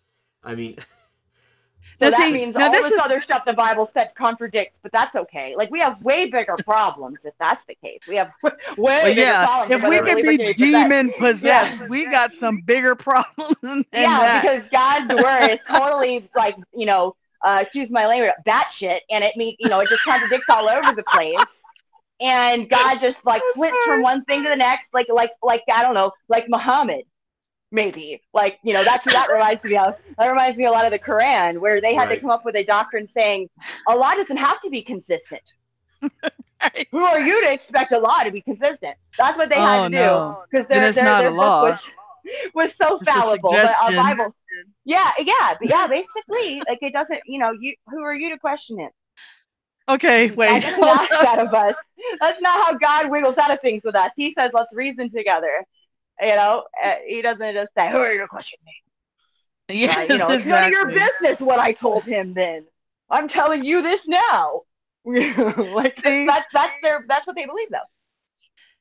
Ladies and gentlemen in the audience, this is exactly why I have Sister Angel uh, here because she comes from a perspective that literally shatters this woman. Okay, for those of you who don't know her testimony, most of you do because you follow uh, her or the or the my my channel, and you heard her testimony. She went from atheism to faith in Christ. You are not going to be able to pull the wool over this woman's eyes. She I just an atheist. examined. I was like obnoxious, like as obnoxious as I am now. In in in defense of the gospel, I was that obnoxious about my my uh, God hating. Well, you know, uh, but less well well argued. I will say that because I hadn't read the Bible, so um, you know, like most atheists.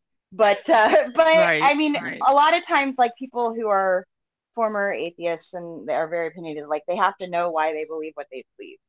You know, they're they're like a lot of people approach Christians like they were just told from a young age to believe this and they didn't question Mm-hmm. it. So a lot of times Christians who are right will look wrong because they do have childlike faith and that's okay. It's okay for, you know, we, we should have an answer for everyone, but it is okay to trust God that much that you don't, you know, have to understand all of his reasoning. But the point is, is God doesn't just say, because I said so.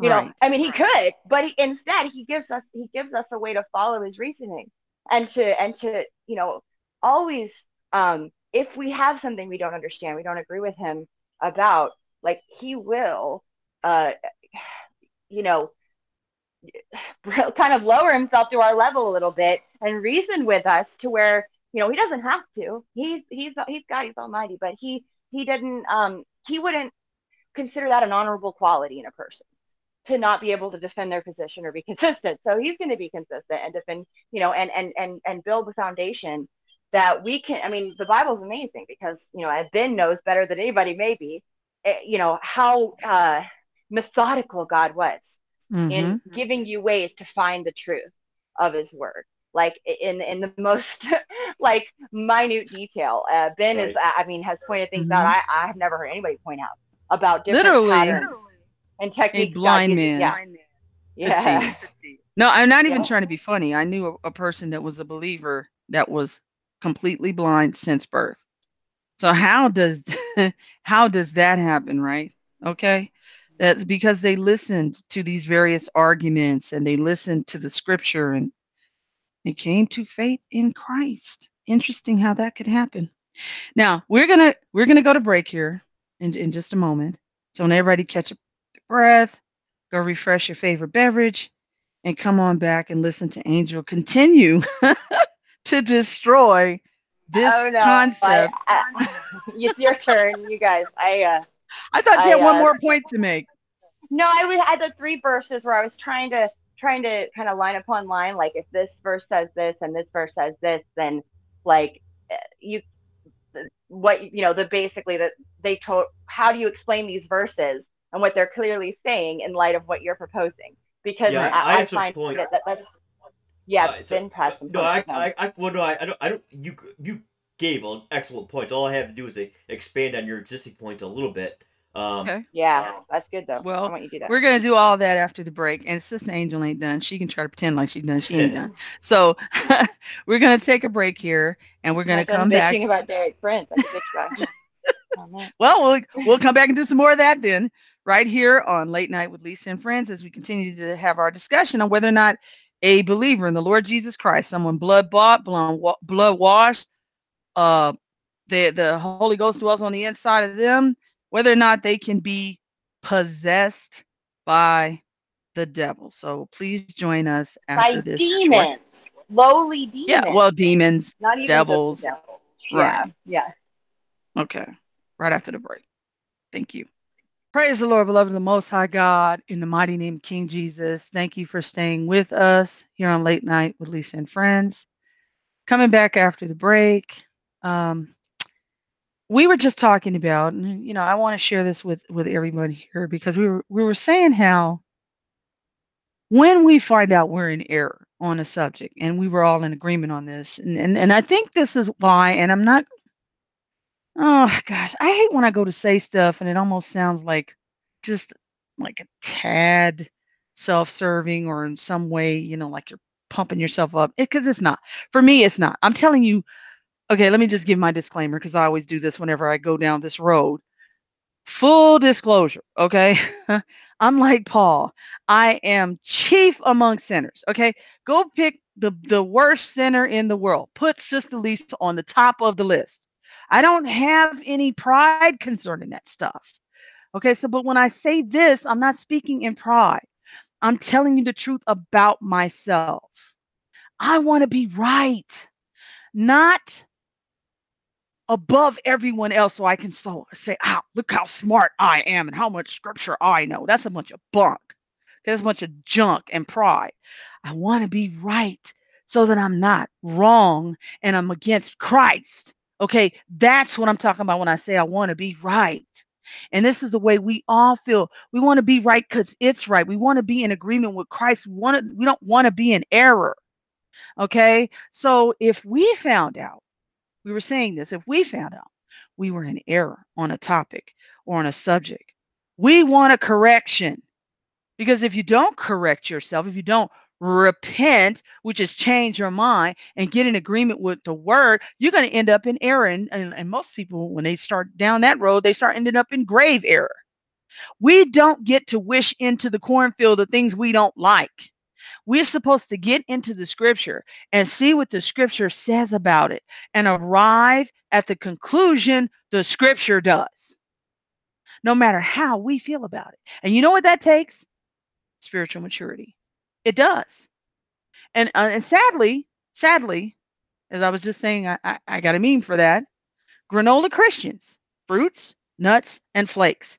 You've got to decide that you're going to be a disciple, which means taught of the Lord. That has nothing to do with quote salvation. You got to have salvation to be taught of the Lord, to be his disciple. But that means that you're going to sit at his feet and you're going to learn. How do we do that? Since the living God is seated at the right hand of the Father, he left us something very important. It's called his word. And we're supposed to pore over these scriptures and then rightly divide the truth. And we're supposed to cast aside any assumptions, perceptions, beliefs, doctrine, instruction from preachers that's in error, that's wrong, that runs afoul of the scriptures. And that's what we were just talking about. So that's in full disclosure. While while we're on break, we really don't take a break. It's like we all run to the bathroom real quick and get a sip of water, and we come back and we start talking about the things we were just talking about. Because this stuff is important. What we're doing here tonight on late night with Lisa and friends, whatever topic we're covering, we're still earnestly contending for the faith that was once delivered to the saints. And we feel this is pivotal because it is literally attacking the authority of the believer and what was won for us by Christ and who we are in Christ. And if a believer can be possessed, and we talked about this just before we went to break, and, and I'm talking about the way that they're describing possession, and we all in trouble. because then Jesus lied. Okay, then we don't have power over all the power of the enemy, and nothing will by any means hurt us. Then, then, then, then that's a lie. So how do you get around that when that's the living God who made a declaration? So we've got to properly put this in its place, and that's probably what we're going to be talking about for most of the rest of this broadcast. Is how Christians can be afflicted, uh, persecuted, vexed, even invite things into their life, into their surroundings, into their home. But again, it's still not possession the way that they try to make it out to be. And I argue if you see a devil cast out of somebody, that person wasn't saved. Now, you can cast it off of somebody.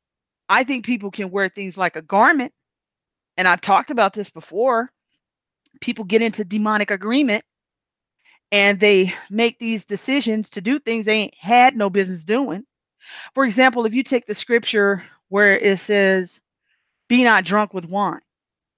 If you go look up the word drunk there, in the Greek, it means begin to be softened.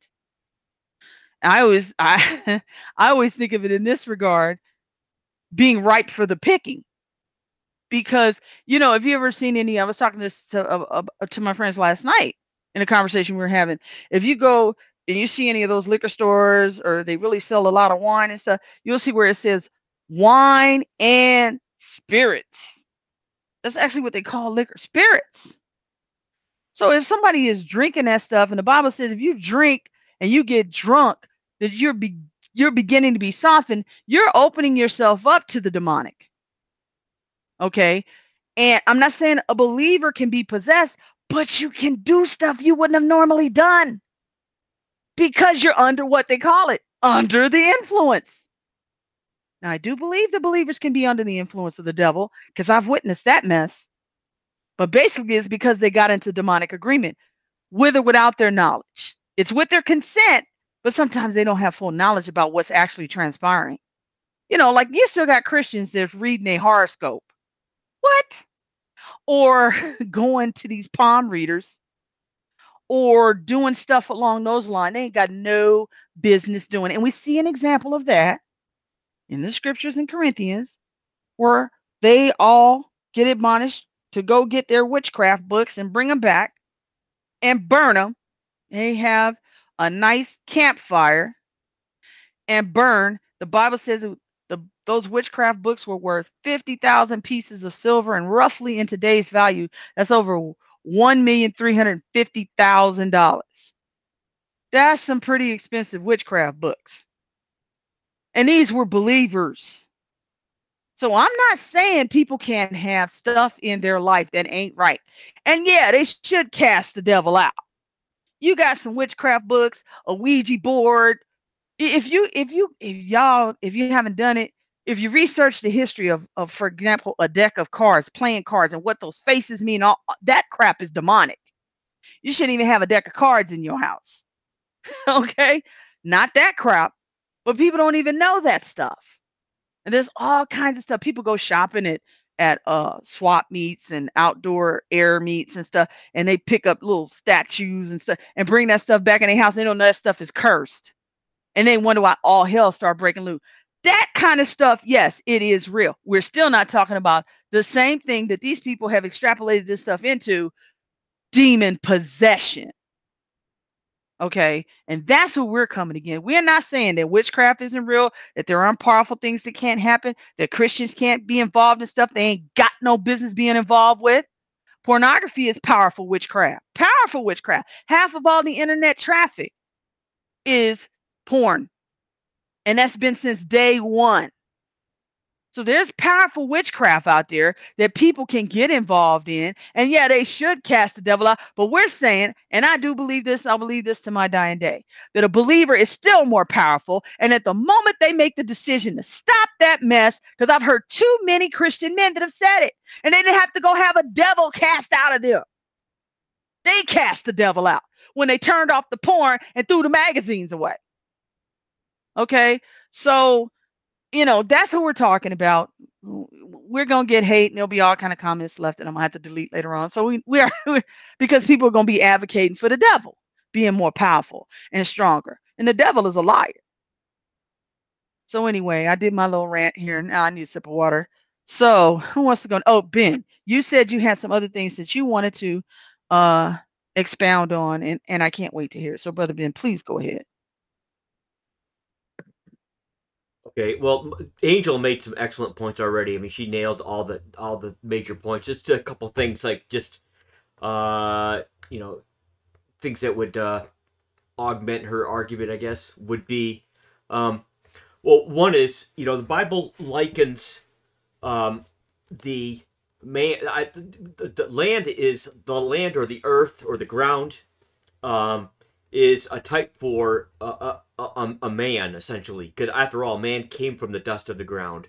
And so there's a lot of types in the bible where you see the the land is being used as a type for um uh for man. And it, so this comes into play with with regards to this demon possession discussion because um let me pull up my notes here. Um well, well, for example, the type for a man, again, man came from the dust of the ground. The parable of the sower likens the heart of a man as soil. So there's different types of soil, and and and the heart has different levels of receptivity of the, the of the seed, and that seed is the word of God. And so, like obviously, the, the word of God can bring new life, and it, it can grow us spiritually. Um, but also too, like even the Abrahamic covenant, which is uh, you know comprised of a, of a promised land or national Israel. Uh, it, it's a promise of sea of land, seed, and blessings. Um, so again, you see where uh, the land is a a type for for um, the, the man essentially, and I, I even even under um, like for example in Genesis thirteen, where Abraham is given the land. Um, God says to Lift your eyes down, look from the place where you are, northward, southward, eastward, and westward. For all the land which you see, I I give to you and your descendants forever. And then he basically says uh, after that, Arise, walk walk in the land through its length and its width, for I give it to you. Um, and so again, I see that as it's basically, you know, God's basically saying, okay, this is the new that that new land, that promised land, essentially is the is the promised new new man, and it's it's a it's a type for walking in the spirit, essentially. Um, and then also the uh, like Hebrews, for example, talks about the the uh, the, the word of God. Uh, which is, I believe, he's referring specifically to the, the to the Hebrew, the, the epistle of Hebrews, being like rain that waters the ground, and if it if it you know if it if the ground gives up, uh, you know, fruit, uh, a harvest or uh, things that are good, that the land is blessed. But if it uh, yields thorns and thistles, uh, which again I think it's a, is a type for that person becoming hardened in their unbelief and, and going back to uh, to the law, that that believer can be uh, that that ground is near to being cursed or burned. And again, it, it means burned up like you know. And this is an old agricultural technique in the in the ancient world where uh, when the ground was so useless, it just bore it. it you know, it yielded only thorns and thistles. They would burn it, and and and then it would uh, allow it to uh, the next season to uh, hopefully uh, uh, yield a useful crop. So it's a, it's a picture of temporal punishment, but that's that's not my point. Um, it also, too, you know, for example, it tells that Christ was a, a tender plant uh, from dry ground. Um, and it the, there, like in Malachi, for example, says all the proud, yes, all who do wickedly, wickedly will be stubble, and the day which is coming shall burn them up, and that uh, it will leave them neither root or branch.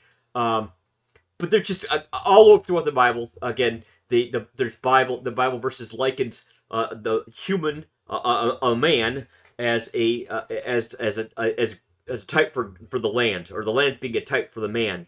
So you have the parable of the sower, like I mentioned, par- all throughout uh, Matthew, for example, Christ talks about uh, make the tree good, uh, or or you know make the tree evil or make the tree good, or you know a, a good only a good tree can bear good fruit, and a rotten tree can bear rotten fruit. Again, that's a picture of the the land and the heart condition, and you know do you basically it's saying when he says make the tree good, he's basically saying be converted as a small child and let let something new displace the old.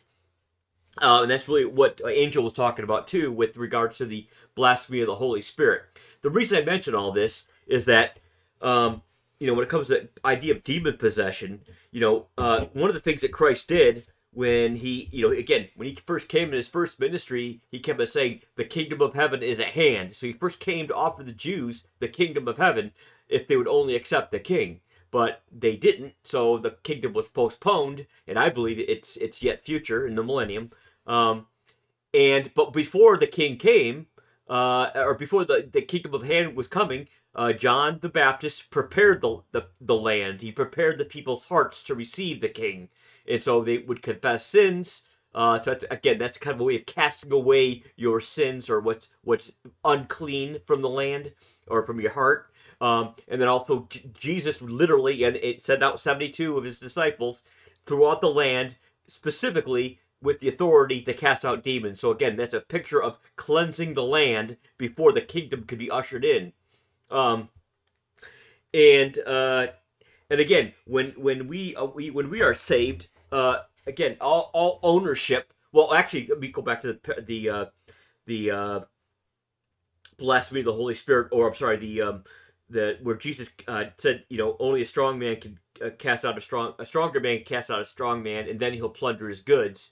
Um, again, that's a type for again the land where G, that that whole parable I believe essentially is a parable about Israel. He's saying, okay, I just cast all the demons out of the land, and unless you accept your king into the land, uh, the the only the, the demons are going to come back worse. Israel, if you reject the king, the greater thing, the thing that's merciful, uh, you know, grace. You you reject grace, essentially, the king is whose grace is personified. Um, if you reject that, then oh, you know, oh, the Israel's state is going to be latter than than the first. It, the latter is going to be worse than the first. And again, that's a picture of a believer when they are saved and the Holy Spirit indwells them. Everything essentially, uh, all the evil forces that are uh, that bind that person, um, you know, again from an eternal perspective, are bound. All those things that, that kept that person in binded, uh, in bondage, they are bound up, and and and, and then you could again Christ plunders that man, that man. Um, and so again, that's also a picture of believer. So when I'm saying this because I probably might making a whole lot of sense because my notes are all scattered and I thought I was a little bit more prepared, but whatever. Um, the when when the new Jerusalem comes uh, comes down from heaven, um, again, the, the one of the things of whole the whole purpose of the tribulation one of the main purposes of the tribulation is if God intends to break the power uh, in the stubbornness of, of, of, the of his people. And so, uh, for example, in Ezekiel, it says, um, uh, it says, "I will I will make you pass under the rod, and I will bring you into the bond of the covenant." Again, one of the main purposes of the of tribulation, I believe, is to prepare the Israel uh, essentially to receive its king and the kingdom. And so it says, I will purge the rebels from among you, and those who transgress against me. I will bring them out of the country where they dwell, but they shall not enter the land of Israel. When you, then you will know that I am the Lord. And it also, again, all throughout the Matthew parables, Christ is, uh, uh, the, again, the man who is weeping and where there's weeping and gnashing of teeth, those people are cast out of the kingdom. So I, so the paid people are, are going to say, since you are Christ's eternal possession, uh, uh are they going to say, okay, in, in eternal eternity future in the new in the regeneration that there's going to be demons crawling around? No, it, it all evil is going to be disposed of and and and uh, subjected to His will. So there's God doesn't do things in vain. Um, when he cleans out a temple, it's it's it's cleansed out. Now you may say, "Oh, the Old, Old Testament they defiled the temple." Well, again, that was that was not that was Israel under the law, under the new covenant. Again, we're sealed forever, and um, and again, when Christ, you know when Christ's uh, tomb was sealed, it, it was uh, sealed so that it would prove that there there was no tampering, no, nothing entered in and nothing entered out. And so we're sealed with the Holy Spirit. Again, there's no tampering with that seal. You can't undo that seal. And and so nothing can come in and come out. And only when it was only an angel from God who was allowed to remove that stone uh, when the time was right. But um, what other? Th- okay, so a couple other things I was going to say here. Let me pull. Anyone else want to jump in here for a second? I, am going to look at my notes here. Um, well, okay, okay. I think. Uh, oh, also. Well, too, no, I was, No, well, I- Go, I- no, go ahead, Ben. please. Okay, in the epistles, there's, uh, uh, you know, it, I think it's, it's it's it's also important, you know, not not just what the Bible talks about, but what it doesn't talk about. There's nothing in the epistles which are written specifically specifically to the church about warning the believers how to avoid demon possession or even how to cast out demons.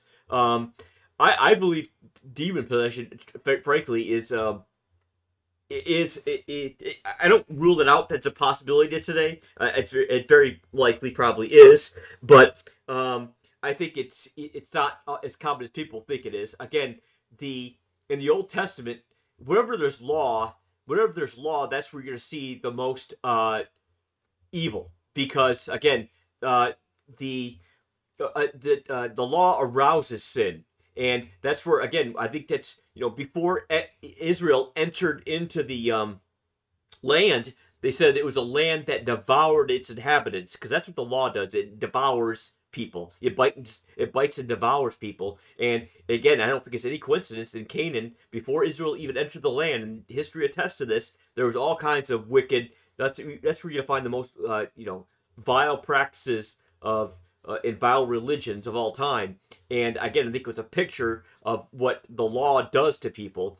Um, and that's why again it was uh it was that's where you saw um, again it was a land that devoured its inhabitants.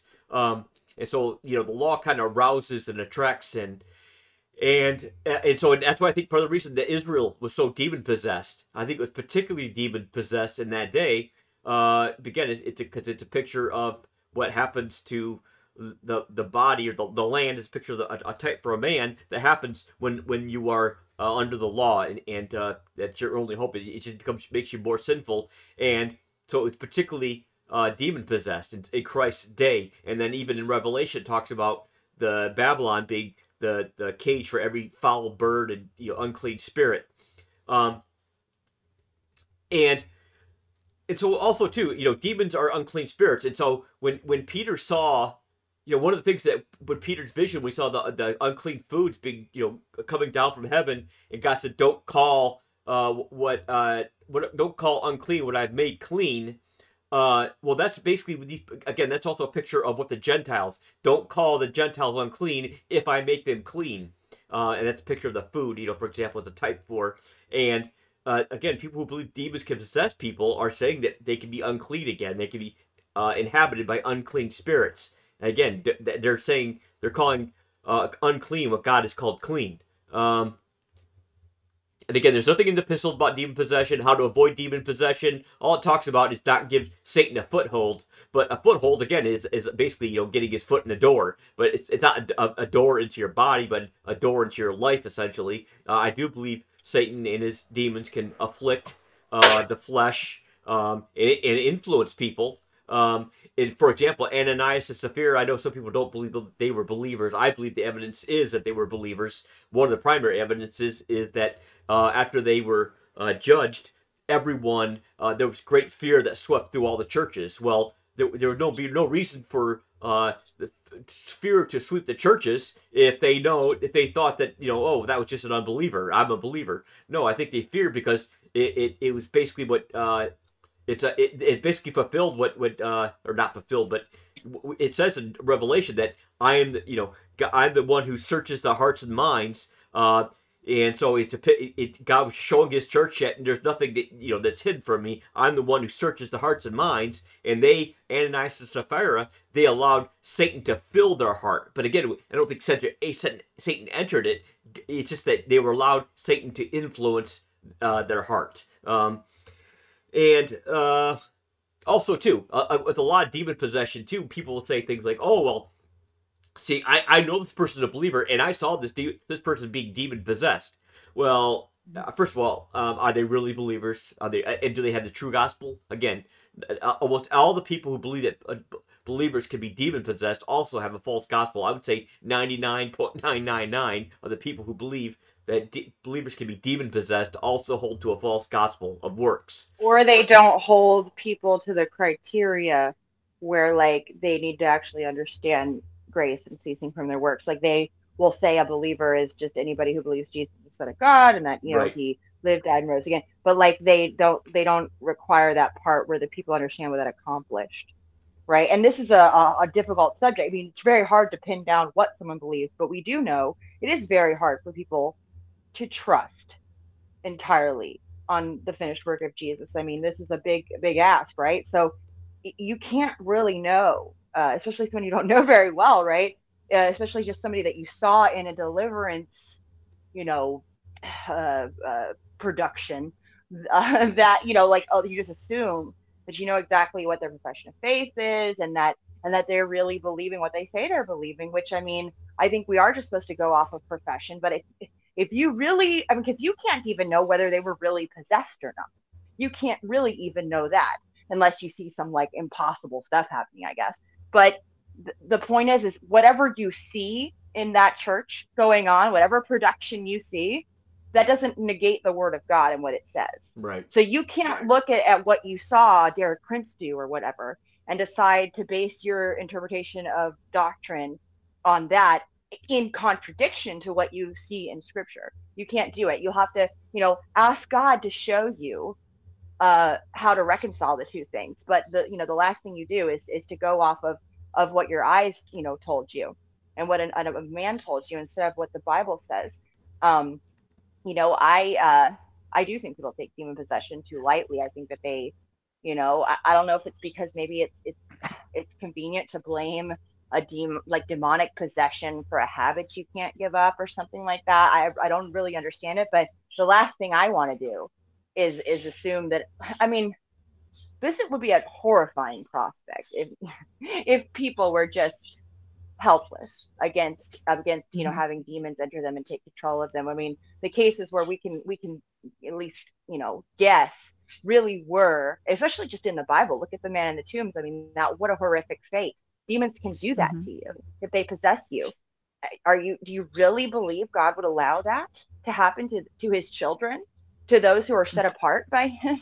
I mean, and then there'd be no possible solution. And like, even if you think there is, like, oh, well, you need to avoid sin and you need to, the Bible didn't even tell you what the solution was to prevent that from happening. It didn't even right. think to tell you. because is it because God just didn't didn't get to it? He didn't think it was important to tell you how to how to protect yourself as a believer from demonic possession. Surely they'd want to be possessing believers constantly. Surely right. that would be their favorite Absolutely. target. Think of the damage they could do. Yeah. So he would tell you, um, and yet there's just so very little that you could even misconstrue as that kind of instruction. So mm-hmm. I mean, what an oversight! What a right. massive oversight on God's part. And I don't think that's the God I know. I mean, you know, the God I know, you know, made every provision for me, and He has my mm-hmm. back in ways mm-hmm. I can't even describe.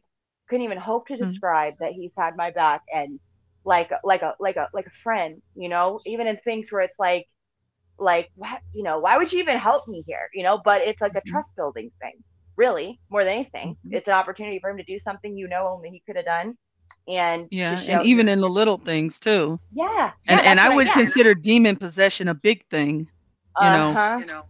oh yeah. Well, and I wanted to ask Ben what he thinks about the abomination of desolation and like how that factors into what you're talking about about about what um because I agree I agree that uh, the verse I cited about um you know uh, uh you know spoiling the strong man's house that the, the that actual passage is, is is is referring to Israel. There's it's talking about Israel, but the point is is that Jesus it's like it has to also be true in the context with which it's applied i think you know because he wouldn't be giving this metaphor if the metaphor in and of itself wasn't true.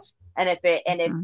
if the different ways you can extrapolate it aren't also true true on every level like we like to say. So but i but i think that's a great insight. And i don't think god gives incomplete asymmetrical shadows and types and pictures. He, he's very uh you know uh symmetrical in everything. Everything is is perfect. So if um you know well if it's a principle that's an overarching principle it's going to apply perfectly no matter which way that you you know you apply it uh, especially in things that the bible actually covers. But i wondered what you thought about the abomination of des- desolation you know and and the antichrist you know sitting in the temple declaring himself to be god and maybe how that might even apply well i would uh, say somehow. first well first of all that the, the, abomination desolation uh, would happen uh, uh, whatever happens to that temple uh, it, it, it uh, it's before God actually steps foot into it, so it wouldn't be really defiling anything that uh, wasn't it wasn't clean yet, essentially, you know. Mhm. And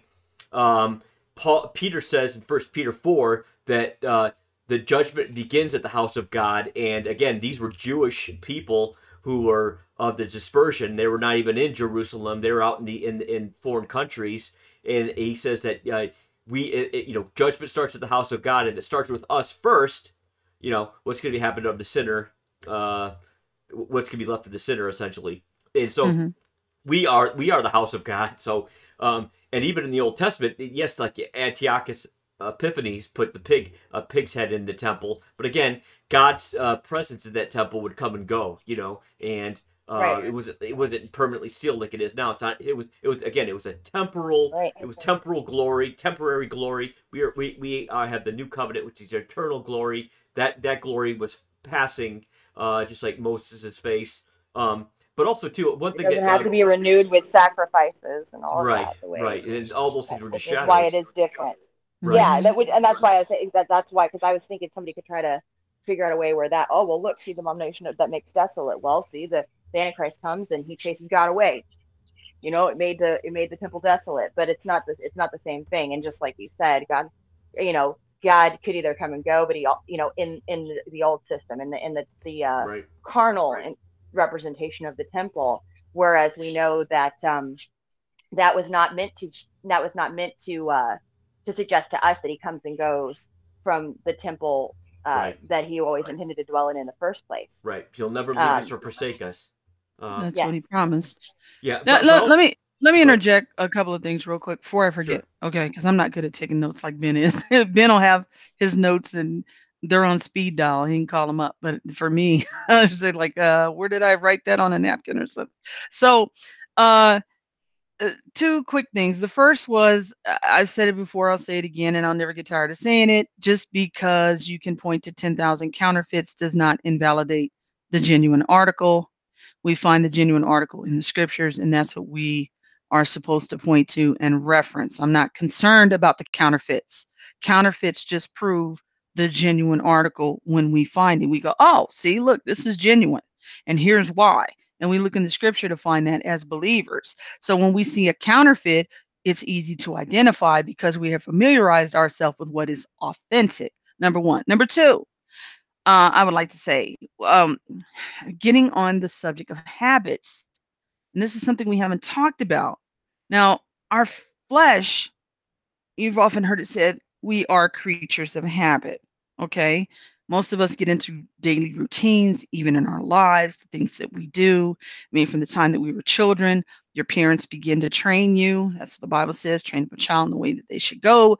When they are old, they will not depart from it so we get into this training mode where we have a, a, a, a sort of a ritual, if you will, for lack of a better term, that we do, whether it's wash our face and brush our teeth and all this and, and take a bath and get ready for bed. And then we, we have the whole thing, right? Dinner, the whole thing. In most houses with structure, that's what happens. Okay. And you you get your children prepared for life and how they have to do things. I still hear my mother's voice to this day about certain certain things. Like one of my favorite things is when I want to hit the alarm clock for like the second or third time to hit the snooze button, and her voice would say to me when I was a child and I did that, "You might as well get up. It's not going to get any easier." so, um, this is just the nature of being human, but we have to be careful as believers not to allow things that become rituals that are that are really antichrist and sadly too many christians do.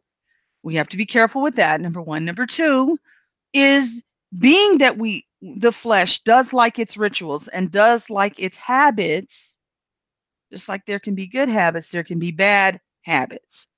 And so let's talk about let's talk about that for a second uh ben and i hope i'm not, not, not knocking you out of pocket here we can always come back to whatever it is you want to say but um when I spoke about just earlier about that there are believers, Christian men, and and that I'm not putting Ben on the spot here because Ben has has extolled and spoken about this before. It's it's not a secret, so I'm not un. I would never do that to any human being I know. Okay, throw them under a bus about something that I knew that was private that they didn't want to make public.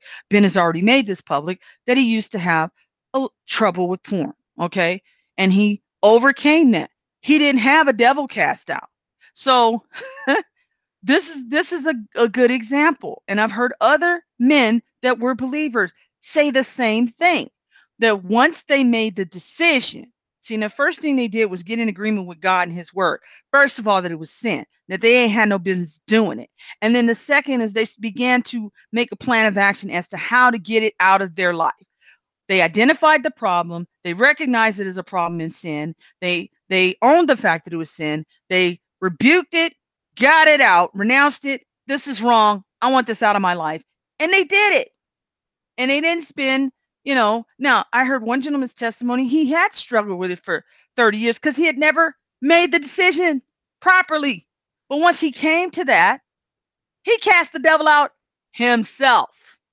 Okay. And it wasn't out of his person, it was out of his life because he was in agreement with it. Because then nobody make them press play.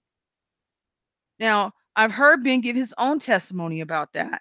So I'm not throwing him under the bus by saying any of this stuff. So this is what I'm talking about. If a believer, because you have the power that the King of Kings and the Lord of Lords has given you, makes the decision that they're going to take a stand against the enemy, as Megan was pointing out in Ephesians 6, and stand on his word and stand on his promises and operate in authority that's given us as a believer, they're able to cast the devil out of their life themselves. Now, if you are weak, if you feel that you are weak and you are just being bombarded by the devil in an area of your life, there is nothing wrong with going to other saints of God. The Bible tells us that.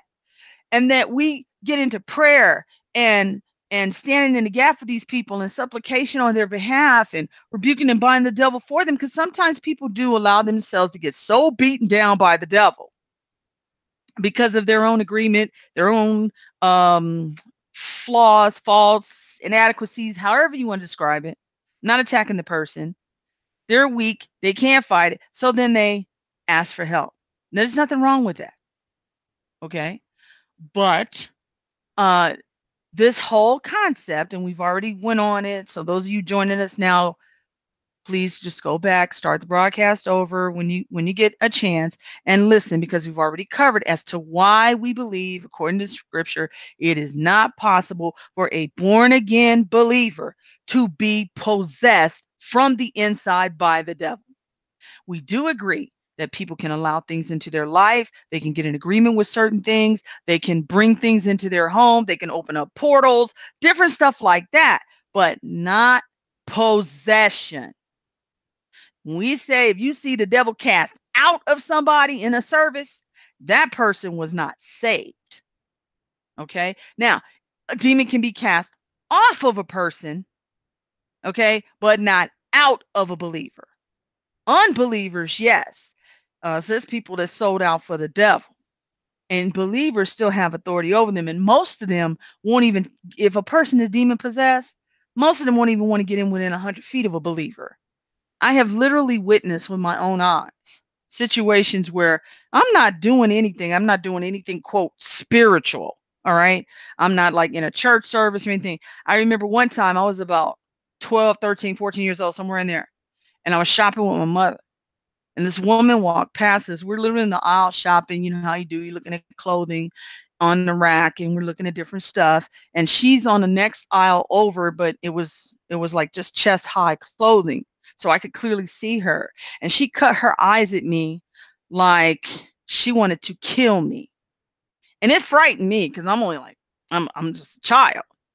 And I got a little bit closer to my mama and said, Mama, that woman looked at me like she want to kill me.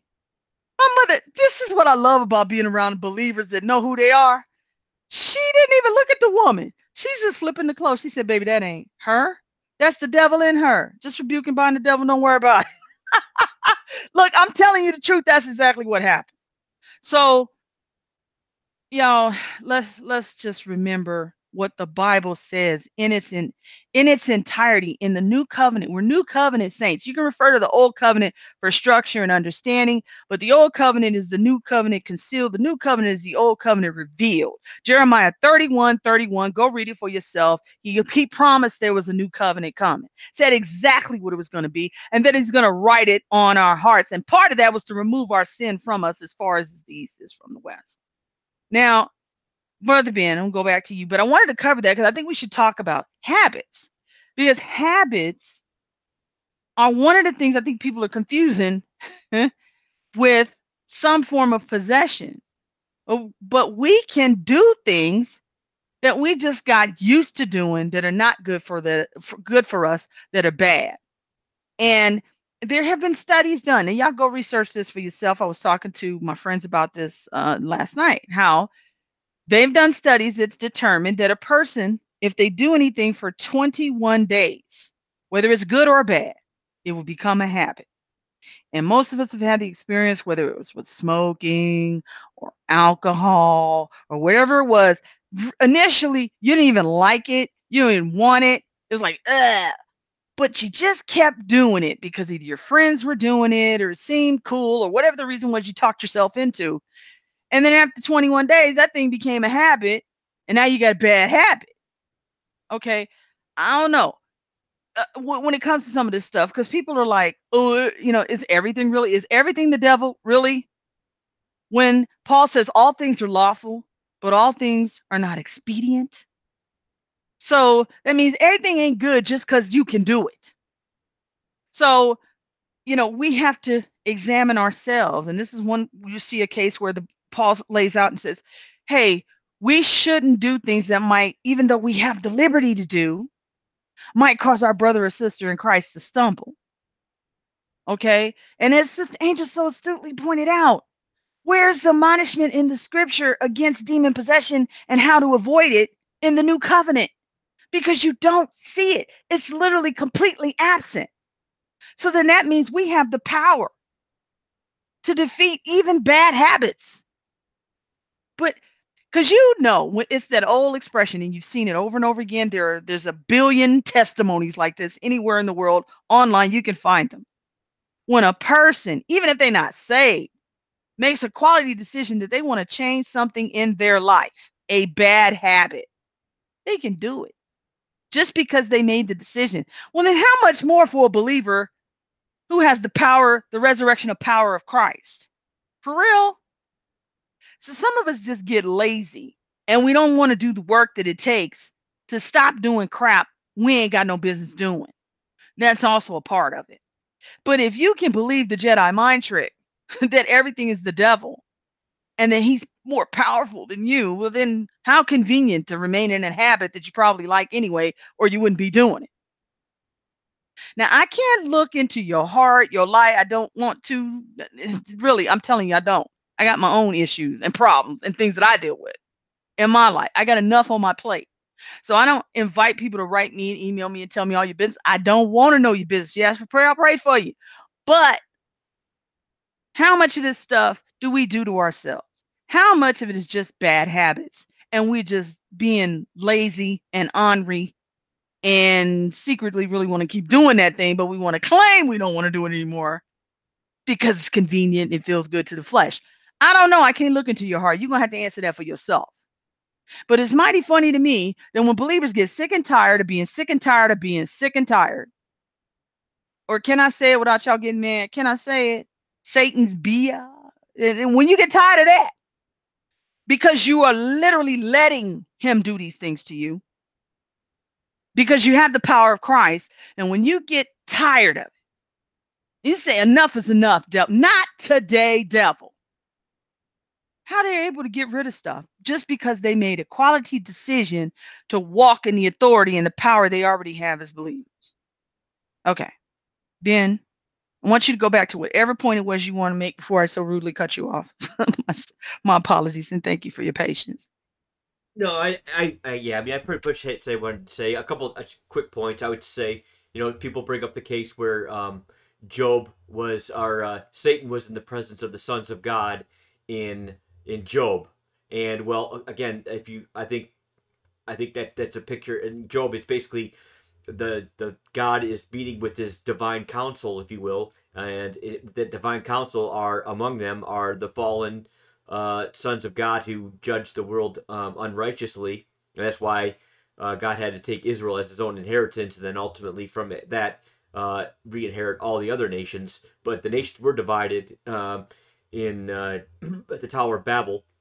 I think it's in Deuteronomy 32 t- tells us that that uh, all the nations were divided up, or the sons of God. The num- number of nations were divided according to the number of sons of God. And in Job, I believe you're seeing basically a divine council where God's meeting with those uh, fallen sons of God who judge unrighteously, and among them uh, is Satan. And again, just because God's in the same room as him, or not even in the same room potentially, it could be a, a golf. It could be a great golf, like uh, there was in Abraham and the uh, rich man, you know. Uh, but either way, uh, they did have uh, some communication. But that's that's a, that's a quite a stretch to say. Oh, that's a picture of Satan and uh, or a demon being in the presence or inhabiting um, a a believer. I think that's a quite a stretch. Um, another thing too is like I mentioned before, and Angel mentioned this too, but I think uh, I think you might have cut it off, Angel, too early. Um, and that was um, I with regards to First Corinthians six. You talked about um, you quoted this first, but I, I don't think you cut, cut the last part of it. So I just want to capture that real quick, where uh, Paul says, "Do you not know that your bodies are members of Christ? Shall I then take the members of Christ and make them members of a harlot? Certainly not. Or do you not know that he who is joined to a harlot is one body with her? For the two, he says, shall become one flesh. But he who is joined to the Lord is one spirit with him. Flee sexual immorality. Every sin that a man does is outside the body, but he who commits sexual immorality sins against his own body. Or do you do you not know that your body is the temple of the Holy Spirit who is in you? Yes, Yeah, that's, right. I did cut it off. yeah, uh, who is in you, whom you have from God, and you are not your own. For you were bought at a price, therefore glorify God in your body and your spirit, which are God's. And a couple things about that verse is um, the idea of, uh, you know, the, the believers were bought as a price. That expression brings to mind the, the act of redemption and the outcome of the change of ownership. And so we're no longer slaves of sin. Again, that slave terminology in the uh, in the Bible, I think primarily it it, it, it, it deals with ownership. Uh, yes, you- you're a slave in terms of your work, but also the prime. But before you can do any work uh, as a slave of God, you need to be owned by Him before you can do any work that's considered uh, worthy. Otherwise, it's just filthy rags. But uh, so yes, you know, the Bible says you, you know that we're no longer slaves of sin, but we're slaves of righteousness. Christ is righteousness. He owns us. Uh, our body is, is not even our own, let alone a demon's. It's it's God's. Um, and so uh, again, I think that's another point that would hammer home. And then finally, the last thing I would say is with regards to uh, you know again, a lot of people. You know, I think first of all, I think there's a lot of fakery around demon possession. But even if those people, um, you know, you say you're for example in your church and you think there's you know that's irrefutable evidence. I'm seeing someone obviously possessed of a demon. Um, I would say one of two things. Uh, they're well, they're probably they could be faking it, but um, or they could be um, it, it could be unbelievers. You- So, for example, in Acts, even where that that uh, girl who had the spirit of Python or Pythia, um, I believe she was an unbeliever. She and uh, she was uh, in, inhabited by a demon, and she was following uh, uh, Paul around and basically telling everyone. Well, fir- first of all, she was a fortune teller essentially beforehand, before this whole episode, and then uh, after after she saw Paul preach the gospel, I think she bare in, in a very mocking uh, the demon in her uh, in a very mocking way was saying, uh, "Listen to these men; they have a way of they tell you the way of salvation." And uh, first of all, the demons saying that, uh, you know, it, it's going to probably draw you away from that message. First of all, so that might be part of the tactic. But the other tactic could have been. Um, again, it, it was uh, you know I think maybe perhaps God let her let her do that for a while, let that demon do it for a while because uh, it was basically a message to even the unbelieving world that even your own fortune tellers are telling you that are, are, are you're not even listening to your own fortune tellers who you previously paid money for uh, to get good fortune or good fortune, and now uh, this this fortune teller is given to you for free. There's just a lot of mockery and polemic in the spiritual world, and so there's a lot of you know uh, back and forth there. So um, again, I, there's no evidence at all that she was she she was she had believed prior to being possessed. None at all. I don't think she even heard the gospel because Paul was just preaching it. Um, and then finally, um, once uh, one, demon that um, Christ cast out uh, you know, they they they said he, I think the the people said, "Why is she possessed?" or "Why is this person tormented?" He said something to the effect, paraphrasing, don't remember all the details, but uh, you know, they're asking, you know, what, what what did her parents do or something, and he said, "This one is not because of her parents, essentially, but this one is to demonstrate the glory of God." So you see there that God has absolute control over what is possessed, who is possessed, uh, and why would He ever allow a believer to to be possessed? Uh, does he want to share bunk beds with a demon inside a, a person? I don't think so. Um, so just a couple points there that that really uh, hopefully enhance some things that Angel said because I thought I thought we really I don't I don't think there's any room uh, for uh, the idea that a believer can be possessed. I think it's utter nonsense, and I think it's really heresy. I don't think people have just thought it through at all. Like I don't think they've thought through all the ramifications of what that would mean and how impossible like the Great Commission would be, like how impossible uh, so many promises, uh, you know, that God made to us, especially about um, the new covenant, would be if we were um, just at the mercy of demons possessing us all the time. I mean, we would be the number one targets. They could they could constantly uh, make us incapable, and I don't just mean uh, you know influence us to be lazy and selfish. I mean, like like against our will, make us incapable of doing God's will at all. You know, um, yeah, make us mute so we can't even preach the gospel. Yeah, yeah, they wouldn't even bother possessing the lost. They would just spend all their time messing with us, and and then also like what with what Jesus said about casting out one spirit, and then uh, having even more and worse spirits return. What would even be the point of deliverance for uh, anyone? you know, right, like I guess right. what? So they could believe the gospel and then go right back to being possessed, only Worse. this time with even more demons. Guys, right. I just thought of something.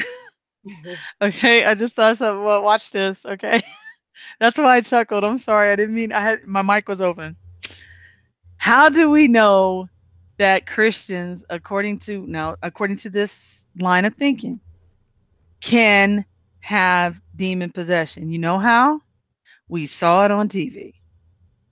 Now I'm not trying to be funny, but prior to this, this is this is where this stuff came from. People making presentations on TV telling you that there was a devil in a person that was a believer. And so we saw this stuff on TV, people getting, you know, you know, foaming at the mouth and all this stuff, laying out on the floor and all this stuff, and demons being called out of, of what's supposed to be saints of God. For real. That's how we saw it. We saw it. And this is where people, why people believe it's real. Now, I told you two arguments. No, devils are real, demons are real. But either that person is faking, and then when you look who it's associated with, which are some of these questionable characters on television, that's one big fat red flag. The other is if they're a genuine believer that is casting the devil out of somebody, that person is not saved. And this is what people think. You see somebody in church, Sunday go to meeting clothes, religious, don't mean they're saved.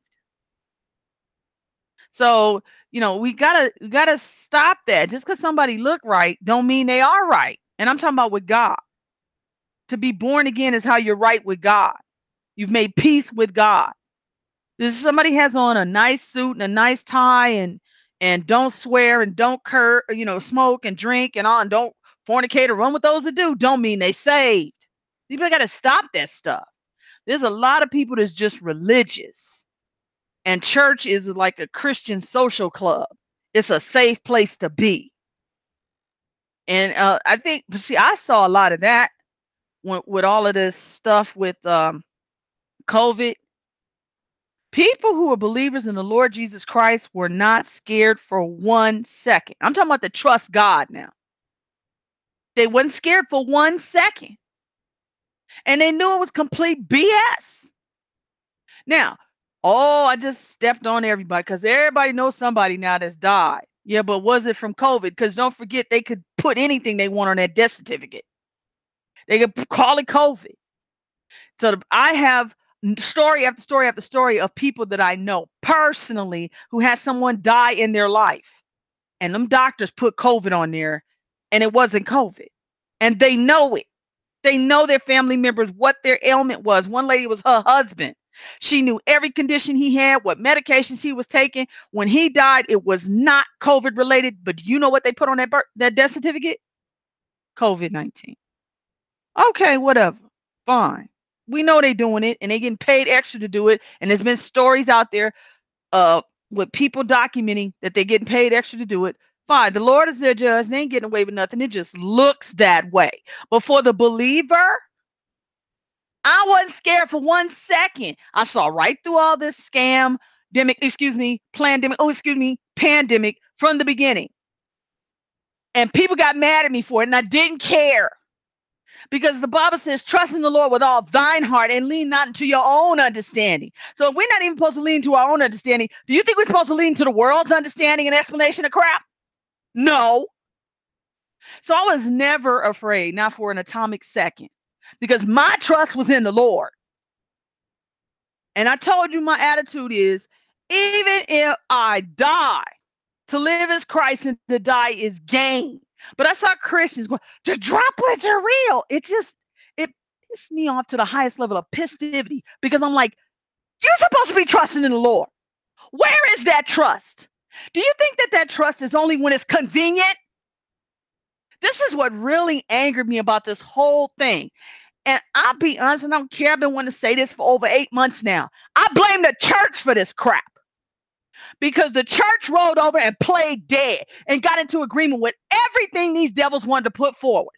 Every single thing. We should just go along with what they say. Romans 13 rolled over and played dead. Yes, men of God.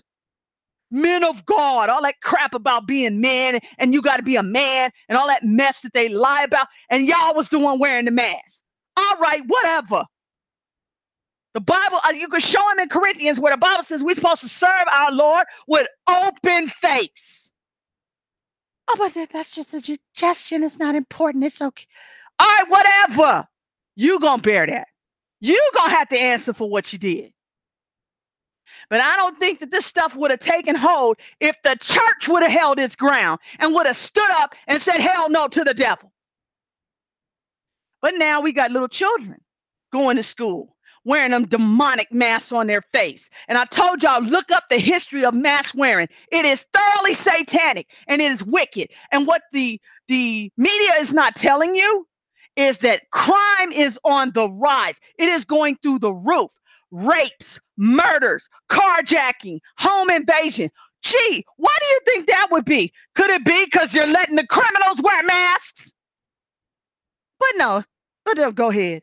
Keep saying the droplets are real. But where's the trust in the Lord? I was, I'm telling you, I've been holding on to this for months. I, I bit my tongue, except for one went off a little bit over there on Sister Renee's channel, and I thank God she gave me the grace to do so. I'm sick of this crap. I'm tired of it. Will the real church of the Lord Jesus Christ please stand up? Because I about had enough of this mess. Either we, I don't care about what the world, I expect the world to be doing what they're doing. But believers, please miss me with that noise. I don't care if you don't like it. I don't care if it hurts your feelings. Sometimes your paradigm needs to be shattered. Because if your paradigm is based on false BS, sacred cows, they need to be destroyed. Okay, that's my fire rant for tonight. Y'all done took it all out of me tonight, I'm telling you, because the enemy's lies being received by the church are destroying, shipwrecking, and leaving destitute believers who have power over the devil. So, who is going to stand up? Now, if we do it, if we ladies, women out there, because they keep telling us about the demonic silence doctrine, why would the Lord give us a mouth if he didn't want us to use it. We are supposed to extol the glory of God. The Bible don't say, unless you're a woman. I've just had it with this crap. I'm like done. In 2021, are we going to be bold witnesses for Christ or are we going to be quiet and just let the devil just run amok? We're still here. That means we still got work to do. I'm tired of the mess. You know, when you get afflicted and you have to actually do spiritual warfare against the devil for your own personal health and do battle against the devil, and here you are fighting the devil and praying and trusting God and clinging to his promises, and you see believers with the same authority and the same power, not doing any work, not doing any battle, not standing up against the devil, not contending for the faith. We should just do whatever they say, rolling over, playing dead. Pisses me off.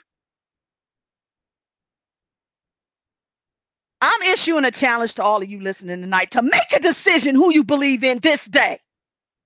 Because our God is God. And if you don't believe that, then just go ahead and get you a t shirt that said Christian in name only and stop playing games. Because this crap is going on because we've tolerated it and we haven't stood up against the devil. Suborned the language of the enemy calling bur- murdering babies abortion, calling child rapists pedophiles. It's wrong. Stop doing it. Stand up. Speak out. Telling the truth is not a crime. Yet, don't worry, they'll get there. They're trying with those demonic Noahide laws that are already in the pike. And Christians, you're the target.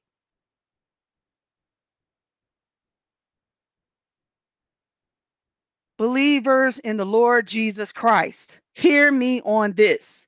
The time to stand is N O W now, not tomorrow. Now. If you have faith in his name, now faith is. They hate us because we bear his name. Why do you think these fakers with these false names are coming in with all of this demonic trash assaulting the deity of Christ, they had the nerve, the unmitigated gall to put out a movie depicting our Lord and Savior Jesus Christ as a homosexual and as all the apostles, the disciples, as homosexuals. The church should have been furious. Roland, what are you going to do? We just turn the other cheek. Bunch of bunk. We're supposed to contend for the faith. And we're supposed to stand up and say, Not today, devil. How dare you? When they feel the heat, they see the light. But Christians want to continue to roll over and play dead and get in demonic agreement with the enemy. Enough is enough. And part of it is what we assassinated tonight, which is the lie that a believer of the Lord Jesus Christ can be demon possessed. I hope we put that to bed. I hope we destroyed the enemy's lies on that because that lie's been around for about 50 years now. And all these fakers that have been out there casting the devil out of people, and y'all go research most of these preachers that you see that mess. Watch this. I'm gonna I'm gonna show you the proof to show you their faith. Their God is mammon. Everything that they're connected to is about the money. I was just watching a video of one of these clowns today over there in Africa millionaire. Boy, he all he's all about casting the devil out of believers, right? I saw one I know was a complete act. But what he got? He got what Rolls Silver Shadow. They're always connected to money. They showing you who their God is. So you don't think they put on a show for money? Would y'all please just stop? Everything that you see that these people claim they Christian, when you research and you put it to the proof text of the word, they show you they're absolute clowns, buffoons, money grubbing devils. And they got some of them clowns right here on YouTube, and everything is about the money. That's how you know. Jesus said you cannot serve God and mammon. Now, that doesn't mean you shouldn't give an offering to the man or woman of God. If somebody's laying down their life and they really doing the work of the ministry and they trying to help, then yeah, throw them some love. You eating from their table, throw them some love. I ain't got no problem with that. But when you see somebody who's all about the money, somebody out there wearing four or five thousand dollar suits and two thousand dollar pair of shoes and all of that craziness, they're letting you know who they are. They're putting it right in your face. Just note and avoid. You ain't got to do no expose videos. Just note and avoid. And just warn others, hey, you better watch out. They love money. Better watch out. Jesus told us what to look for. You can't serve both. Now, I think I did my rant. Y'all don't warn me. I'm telling you, you wore me out tonight. But we needed to talk about that. I just can't take it. I just, I can't. It was been bottled up. I can't take it. And I've been waiting and waiting and waiting because, you know, I'm saying, we got all these men who claim they're men of God. Are they going to say something? Are they going to say something? Is they going to use some of that testosterone to say something? No, they the ones wearing the masks. And I'm like, oh, okay, I can't, I can't. So, okay, that's my stick for tonight. I don't know if, you know, I done beat, beat I think that horse is dead. I done beat it with the stick. Uh, but enough is enough. Believers can the, can the real body of Christ can they stand up? Can we can we just stand like Ephesians six says? Can we just stand? I Sister agree. I mean, it's so pathetic. it really is. It's embarrassing. I agree with being obedient and humble and maybe not like, oh, I'm not going to put a mask on people. I want people to know, like, you know, I'm not stupid. Like, I understand the argument, but it just, you know, when it really, all it amounts to is a whole bunch of people going along with satanic mockery of of the population which is what's happening. Like if every christian decides that what god wants me to do is be obedient to this act of faithlessness in him which is what it is. I have to wear this mask because it'll save my life as if god isn't in control of whether you live or die. I mean that's what it is. It's a symbol of faithlessness. Um uh, because uh, you know, not to mention, you know, trust and like blind trust in the world. I mean, we didn't really get any of that stuff from Scripture in terms of of any of what they're telling us. And so when I see these, you know, these fearful people, ma- you know, masking their faces, and men, so many men doing it. You know, I don't even have hope for women. You know, most women to to to strike out. You know, and and be the one that sticks out. It's like not in most women's nature so to want to go against the grain like that but when the men do it it's just like there's no hope left i mean it looks so pathetic it looks so pitiful and you know young healthy men and it is it is it's a very just similar mentality um, because uh, those in the church they don't know who they are in christ um, and they're not trusting god enough i mean if you, you how could you though if you think you know God will let demons possess you. I get it. You know, you probably should also wear the mask, right? If you think that, if you think that God will let demons possess you, you should probably keep that mask on too. Well, how is it though that the science behind what they're telling us is science? Okay. Um, I'm supposed to believe that an infant, an infant is the, the most vulnerable creature on the earth. It's safe, but a 250 pound linebacker isn't. Miss me with that noise forever. But okay, all right, whatever. I, I guess not only is reading comprehension gone, but the brain that God gave us uh, no longer works either. Uh, Sister Victoria, I hope I didn't scare you away. Um, I, I'm calm now. I'm, I'm calm down. I had to get that out of my system because there's just so much ridiculousness I've seen, and I, I don't expect anything from the world, y'all. That just that didn't bother me. They don't trust the Lord, but the people who say they trust the Lord was the ones. I'm not talking about saying I'm just gonna do it because I don't want to fight to go in the store. Okay, there's an argument for that. Whatever, I get it. I'm talking about literally like coming out going, we should do it because you know the droplets are. I mean, I heard Christian, the droplets are real. We could all die. And what are you talking about? But oh, uh, uh, Sister Victoria, if you're still there, if I didn't scare you away, would you would you like to say something in closing this evening? I think I scared her away. All right, brother Ben. Brother Give her a minute. Sometimes it's hard to unmute right away if you're know, not with the phone. I think I scared her away. I think I scared her away. no, I don't usually scare her away with my rant. She usually gets fired up. Although uh Sister Victoria might have needed to turn in early tonight. You know, I think she was up cleaning her house and working hard earlier today. Brother Ben, would you like to say something in closing this evening? Uh, just in the last couple of minutes, I've been displaying a, a, an article I found that John MacArthur, uh, how much he makes, like from a salary, and, and he, has got like three multi-million dollar homes, uh, and he, he rails against prosperity preaching. Yeah, but it's just funny because like even the people that you know that you can't you can't yeah I mean the spiritual world is very deceptive. You know you you can't you got to be you really do have to be careful. You really do have to exercise all your discernment, all the discernment that that God gives you as a believer, um, and make good decisions uh, about the reality. We're at war, you know, and war always, isn't always clean or fair. Uh, in fact, it, it never clean. It's never fair. Um, and so, just a lot of deception out there in general. Um, and uh, but I I'm very pleased that uh, we we nailed this uh, topic today. I think we did, anyways. Uh, nailed it pretty. Uh, I think it nailed it down put the final nail in the coffin, uh, hopefully.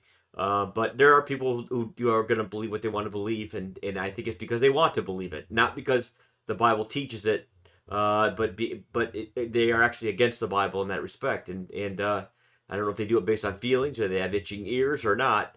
Um, but I'm thankful for the three of you and Victoria that and the people in, in the fellowship here uh, that we are only interested in the truth. That's all I care about. I don't care how ugly it is uh, or how, how how hard it is. I mean, I've been through hell and back, so to speak, in terms of having my paradigm shattered over and over and over again.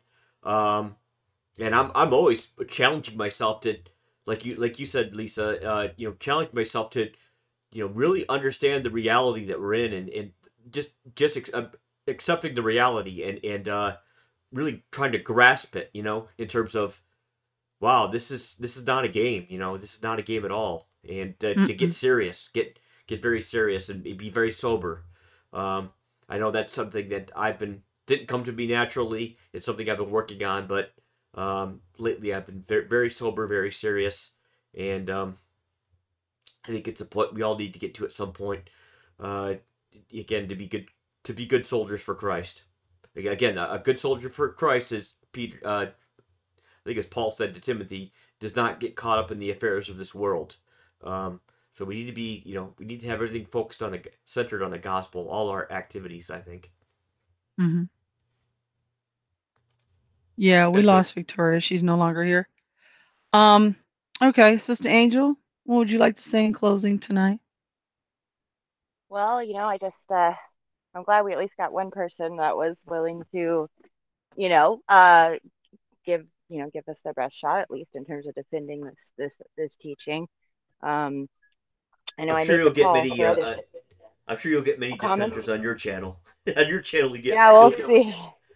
Hopefully, I couldn't believe it. Like, I can't believe the Derek Prince video is the one that keeps getting the most responses, um, and the most like, you know, just it's been, you know, it's quite old, but it's like it just keeps drawing people in. And and I have uh, 31 likes and 21 dislikes, which should tell you something. I mean, that's a bit alarming, Mhm. isn't it? 21 people disagree, you know, compared to 31 who agree, like, or you know, that actually bothered to like it. So that's uh that told me that it really needs to be addressed. And um, I, you know, I don't know what to tell people. I mean, especially after what we've said here, you know, the only thing we could do is is wait for somebody to rebut a single a single thing we said tonight, and then go from there. But uh, I don't really think there is an argument. I think we do have a case of itching ears with people who choose to believe this stuff. It might just be exciting. Like I said, you know, maybe it's like, you know, maybe it's like a Buffy the Vampire Slayer complex where they Mhm. they are excited by it and like Derek Prince is like Giles you know like he's got all the intel on on on the on how they operate and what you got to do but it's not really much fun if you don't have to be afraid of them right you know i don't know Mhm. i mean i just can't really figure out the mentality behind wanting to believe something so so ghastly and so awful and would- that would be so terrifying and and that you know raising your children up as believers you could offer them no comfort no comfort whatsoever. You know, they they if they're believers and they they're you know you teach them the Bible, then they would obviously know about demons, and demonic possession, and and you couldn't tell them God would not let that happen to you. I can't imagine. I can't imagine because uh, Right. I know what it's like to be afraid of that. When I was a kid, I was I was truly afraid, and I think that fear kept me in a lot of situations where I might otherwise really uh, paid the price for flinging open doors and messing with things I did I didn't really know what I was getting into. There was a healthy fear of the demonic. You know, that was what eventually caused me to stop dabbling with uh, with Wicca when I was in like fourth and fifth grade. Is I realized this might just be a trick that demons use to lure us in to inviting them into our lives. Same with the Ouija board. And you know, this was a as somebody who hated the Bible and was a unbeliever allegedly, but I knew that in my gut, and that fear is what kept me, you know, and I believe God's God's provision and His blessing, which by the way was in no small part due to the fact that my parents and my family were saved and sealed believers. Um, you know, protected me. Uh, I'm not saying I didn't have something, you know, spiritual attachments, but you know, the way that the, the you know, a little nine year old getting like full blown into like, you know, I did the holy guardian angel ritual when I was like a like nine or ten. The Aleister Crowley. I didn't know. I didn't know what kind of monster he was. I knew who he was though. I thought he was a mm-hmm. genius, and I did his holy guardian angel ritual to, to, the best of my ability. I'm sure that there was a lot more like blood and guts involved in that ritual than the, the book actually reflected. But that's a ritual that is supposed to basically possess you. It's supposed to um, your holy guardian angel is your is your demon you know, or worse, that you're personally inviting to take control of you. And I didn't know that that's what it was, but uh, I I just chose it because it didn't require like a weird naked ritual bath like so many of these other weird wicked stuff that I saw in these books. It was all so creepy to me, and that should have been a hint. But that fear is what caused me to put it down and be like, this is not a good idea. Um, which I mm. should have known better as a as somebody who's an atheist. Uh, you know, or so I so I said, which is kind of stupid, honestly. Like, you know, I, I really wasn't thinking that one through with what I was what I was interested in. But the point is, is that like I I know that this this this is why I didn't sleep alone till I was 13. And hmm. also, honestly, even after that, like it was always very hard for me to sleep by myself because I was afraid of demons. And so to me, that the idea that anybody would want to believe that there's no protection, no, none whatsoever, not even the indwelling of the Holy Spirit can protect them from something that awful. I just, I don't know. Maybe they need to watch The Exorcist or something. Maybe they haven't seen it. Like, you know, I mean, it's it's really nasty. I mean, it's a really, uh, it, it, would, it, it is the sum of all fears when it comes to what we're scared of and when th- things go bump in the night. I truly believe it's ultimately what we're afraid of is being possessed. I think that's like that innate primal fear. That's why we worry about seeing these things in our rooms and having having these you know bother us because it wouldn't be because they knock things over and and and you know uh uh like appear as shadows on our walls. It's something else. We fear it's something they can do to us. And i believe it's possession. I think that's what we're afraid of. So i think the idea that that there would be no hope and there'd be no protection and there'd be no such thing as safety from that even as a believer is you guys aren't thinking this through. You know maybe mm-hmm. maybe you need to be possessed once so you can figure out how how cruel a fate that would be to condemn you to as a believer in the lord jesus christ. And then to taunt you with in in different passages about how even casting one out you're really just setting yourself up for something worse. Like think about it guys. It makes no sense. And that is not the character of god or jesus to do something like that and to leave us hanging like that right. to a fate right. in a lot of ways worse than death at least mm. you know a fate worse than the actual death part not necessarily the, where you end up but i mean i, right. I mean that's even, just that's so terrifying even to even be tormented when, even james says i think uh, that even when we're tempted to sin he he gives us a way out so way of escape. Even, and even when we give yeah. into our own weaknesses he he still gives us a way out we can choose it but to have no choice but to be demon possessed is just it, yeah totally counter to the character of god yeah yes it is um, lastly, now that my blood pressure's come back down, uh, I I couldn't. I just I I think part of it was the frustration and, and looking at some of this junk going on in the chat, which is you know okay. I like open, free expression. Um, I do, and so I'm very liberal with things uh, in the chat, and I didn't shut anybody. I didn't block anybody. Uh, but I've noticed a comment that I want to speak to because I don't like when people try to manipulate people. I don't like it. It's um it's ugly and it shouldn't happen. Now I don't know if this is coming from a position of something where the devil's playing with your mind and you want to operate in this whole pity type thing where you want uh, people to pity you. You know, people do this crap it you know it, it pointing back to my granola Christians again. All right. Uh, I don't want to be one of those. I've never wanted to be one of those. You shouldn't want to be one of those. But one of the things granola Christians will do is try to manipulate people. Now, I see a comment saying, you know, God bless, I'm not going to participate in any fellowship discussions anymore. Well, that's your right. That's your God given choice because you don't like what we said. You don't like some of the things. We're having an open discussion. We invited you to make your argument. You made your argument. We uh, deconstructed your argument based upon the scripture. And now you want to say, well, I'm mad at you and I'm going to take my ball and bat and go home. Well, that's your prerogative. But that's not going to generate growth. Growth for a mature person, for a mature believer, is is being confronted with, even if it's ugly, an ugly reality, and facing it head on, and saying, "Now, what am I going to do about it? This got dropped in my lap. I'm going to have to deal with this." Children run away. Adults face the truth and they deal with the truth. So I'm gonna put a challenge out to you because I think you're better than that. That's why I'm calling you out on it. I think you're better than that. In fact, I know you are because I remember what your channel name used to be before whatever happened to you happened. And you were preaching a fierce gospel and you were right on the money. And what we're saying is that gospel that you're preaching does not connect with being demon possessed. They don't go together. And we're challenging you to figure out, go ahead, try to prove it to yourself how those two could possibly be connected. I think you're better than that. And if you want to leave and you want to go away mad, that's your prerogative. I didn't block you. I'll let you say everything you wanted to say tonight in the chat. But if you decide to leave, that's of your own volition. And I will keep you in my prayers because I don't wish you any ill. All we're doing is challenge people, challenging people with this broadcast tonight to sit down and examine the actual arguments that you're making for a believer to be demon possessed. And how does that correlate with the revealed word of God in this new covenant?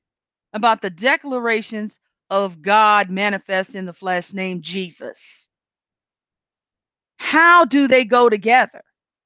And then where is the instruction in the scripture on how not to be if we could be? And then how to get the devil out. I mean, what if you was by yourself? You know, you'd be in a world of hurt then, I guess, if you couldn't go find somebody to cast it out. So just examine what we presented tonight. Why don't you do a, a little paper like they do in, in like legal fields? They'll do pros and cons, right? Just write down here's the pros for the argument, here's the cons. And if you go add up all the stuff that we listed, you're gonna see it's pretty weak argument that these people can even make on a believer being demon possessed. In fact, I think we destroyed. I don't think you can even find the con other than the devil himself lying on that note, next week, you guys, we're we're off. We will not be doing a late night with Lisa and friends. I always try to be considerate of my friends here. They have families, they have lives, and to come on here and give their time and over three hours most nights on broadcast is a lot of time away from their life. And you know, they uh, have to do what they need to do, and everybody needs a break and to refresh and regenerate and get back in there and be ready for the next battle. So uh, we're going to take a, a night off next week and then we'll be back. Hopefully, I've invited Minister Fitzhouston and his lovely wife, Jonna, to come back and we're going to continue our discussion on singleness and marriage because I'm getting questions from a lot of you out there on how you know christian dating and or courting is supposed to work and rather than just be firing back 100 emails uh, i would rather just cover it and let people ask their questions in the chat and then we can discuss it here on the broadcast so people can have an open record as to how they should conduct themselves and believer as believers while courting and or then also some other issues and problems that happen in marriage. So we're going to be, he's already tentatively agreed to come back and, and discuss that with us, and I'm excited about it. So I thank you all for joining us tonight here on Late Night with Lisa and Friends. Thank you for taking the time. I hope you'll remember to share this broadcast. If you did like the work and effort that we put in as a labor of love tonight, please remember to give us a like on your way out the door. I appreciate uh, you guys all stopping by and taking the time to share your thoughts and make whatever arguments and presentations you made here in the chat. I thank you for the challenge. We enjoyed it. And I think that we did address them directly. So um, please fire off any emails if you have at me uh, that you would like at, uh, at uh, four, the number four, the most high Jesus at protonmail.com. And I'll be happy to answer your questions. Please don't hit me with 100 questions at one time, one question at a time, please. I'm just one person. I don't have a field and an army of assistants to help me. And I'm not the Bible answer woman, but I'll do the best I can to help you. And I will always uh, pray for you if you do have a prayer request. Thank you again for joining us, and I hope to see you roughly two weeks from now, right back here on Late Night with Lisa and Friends. Blessings in Jesus' name. Good night and good morning.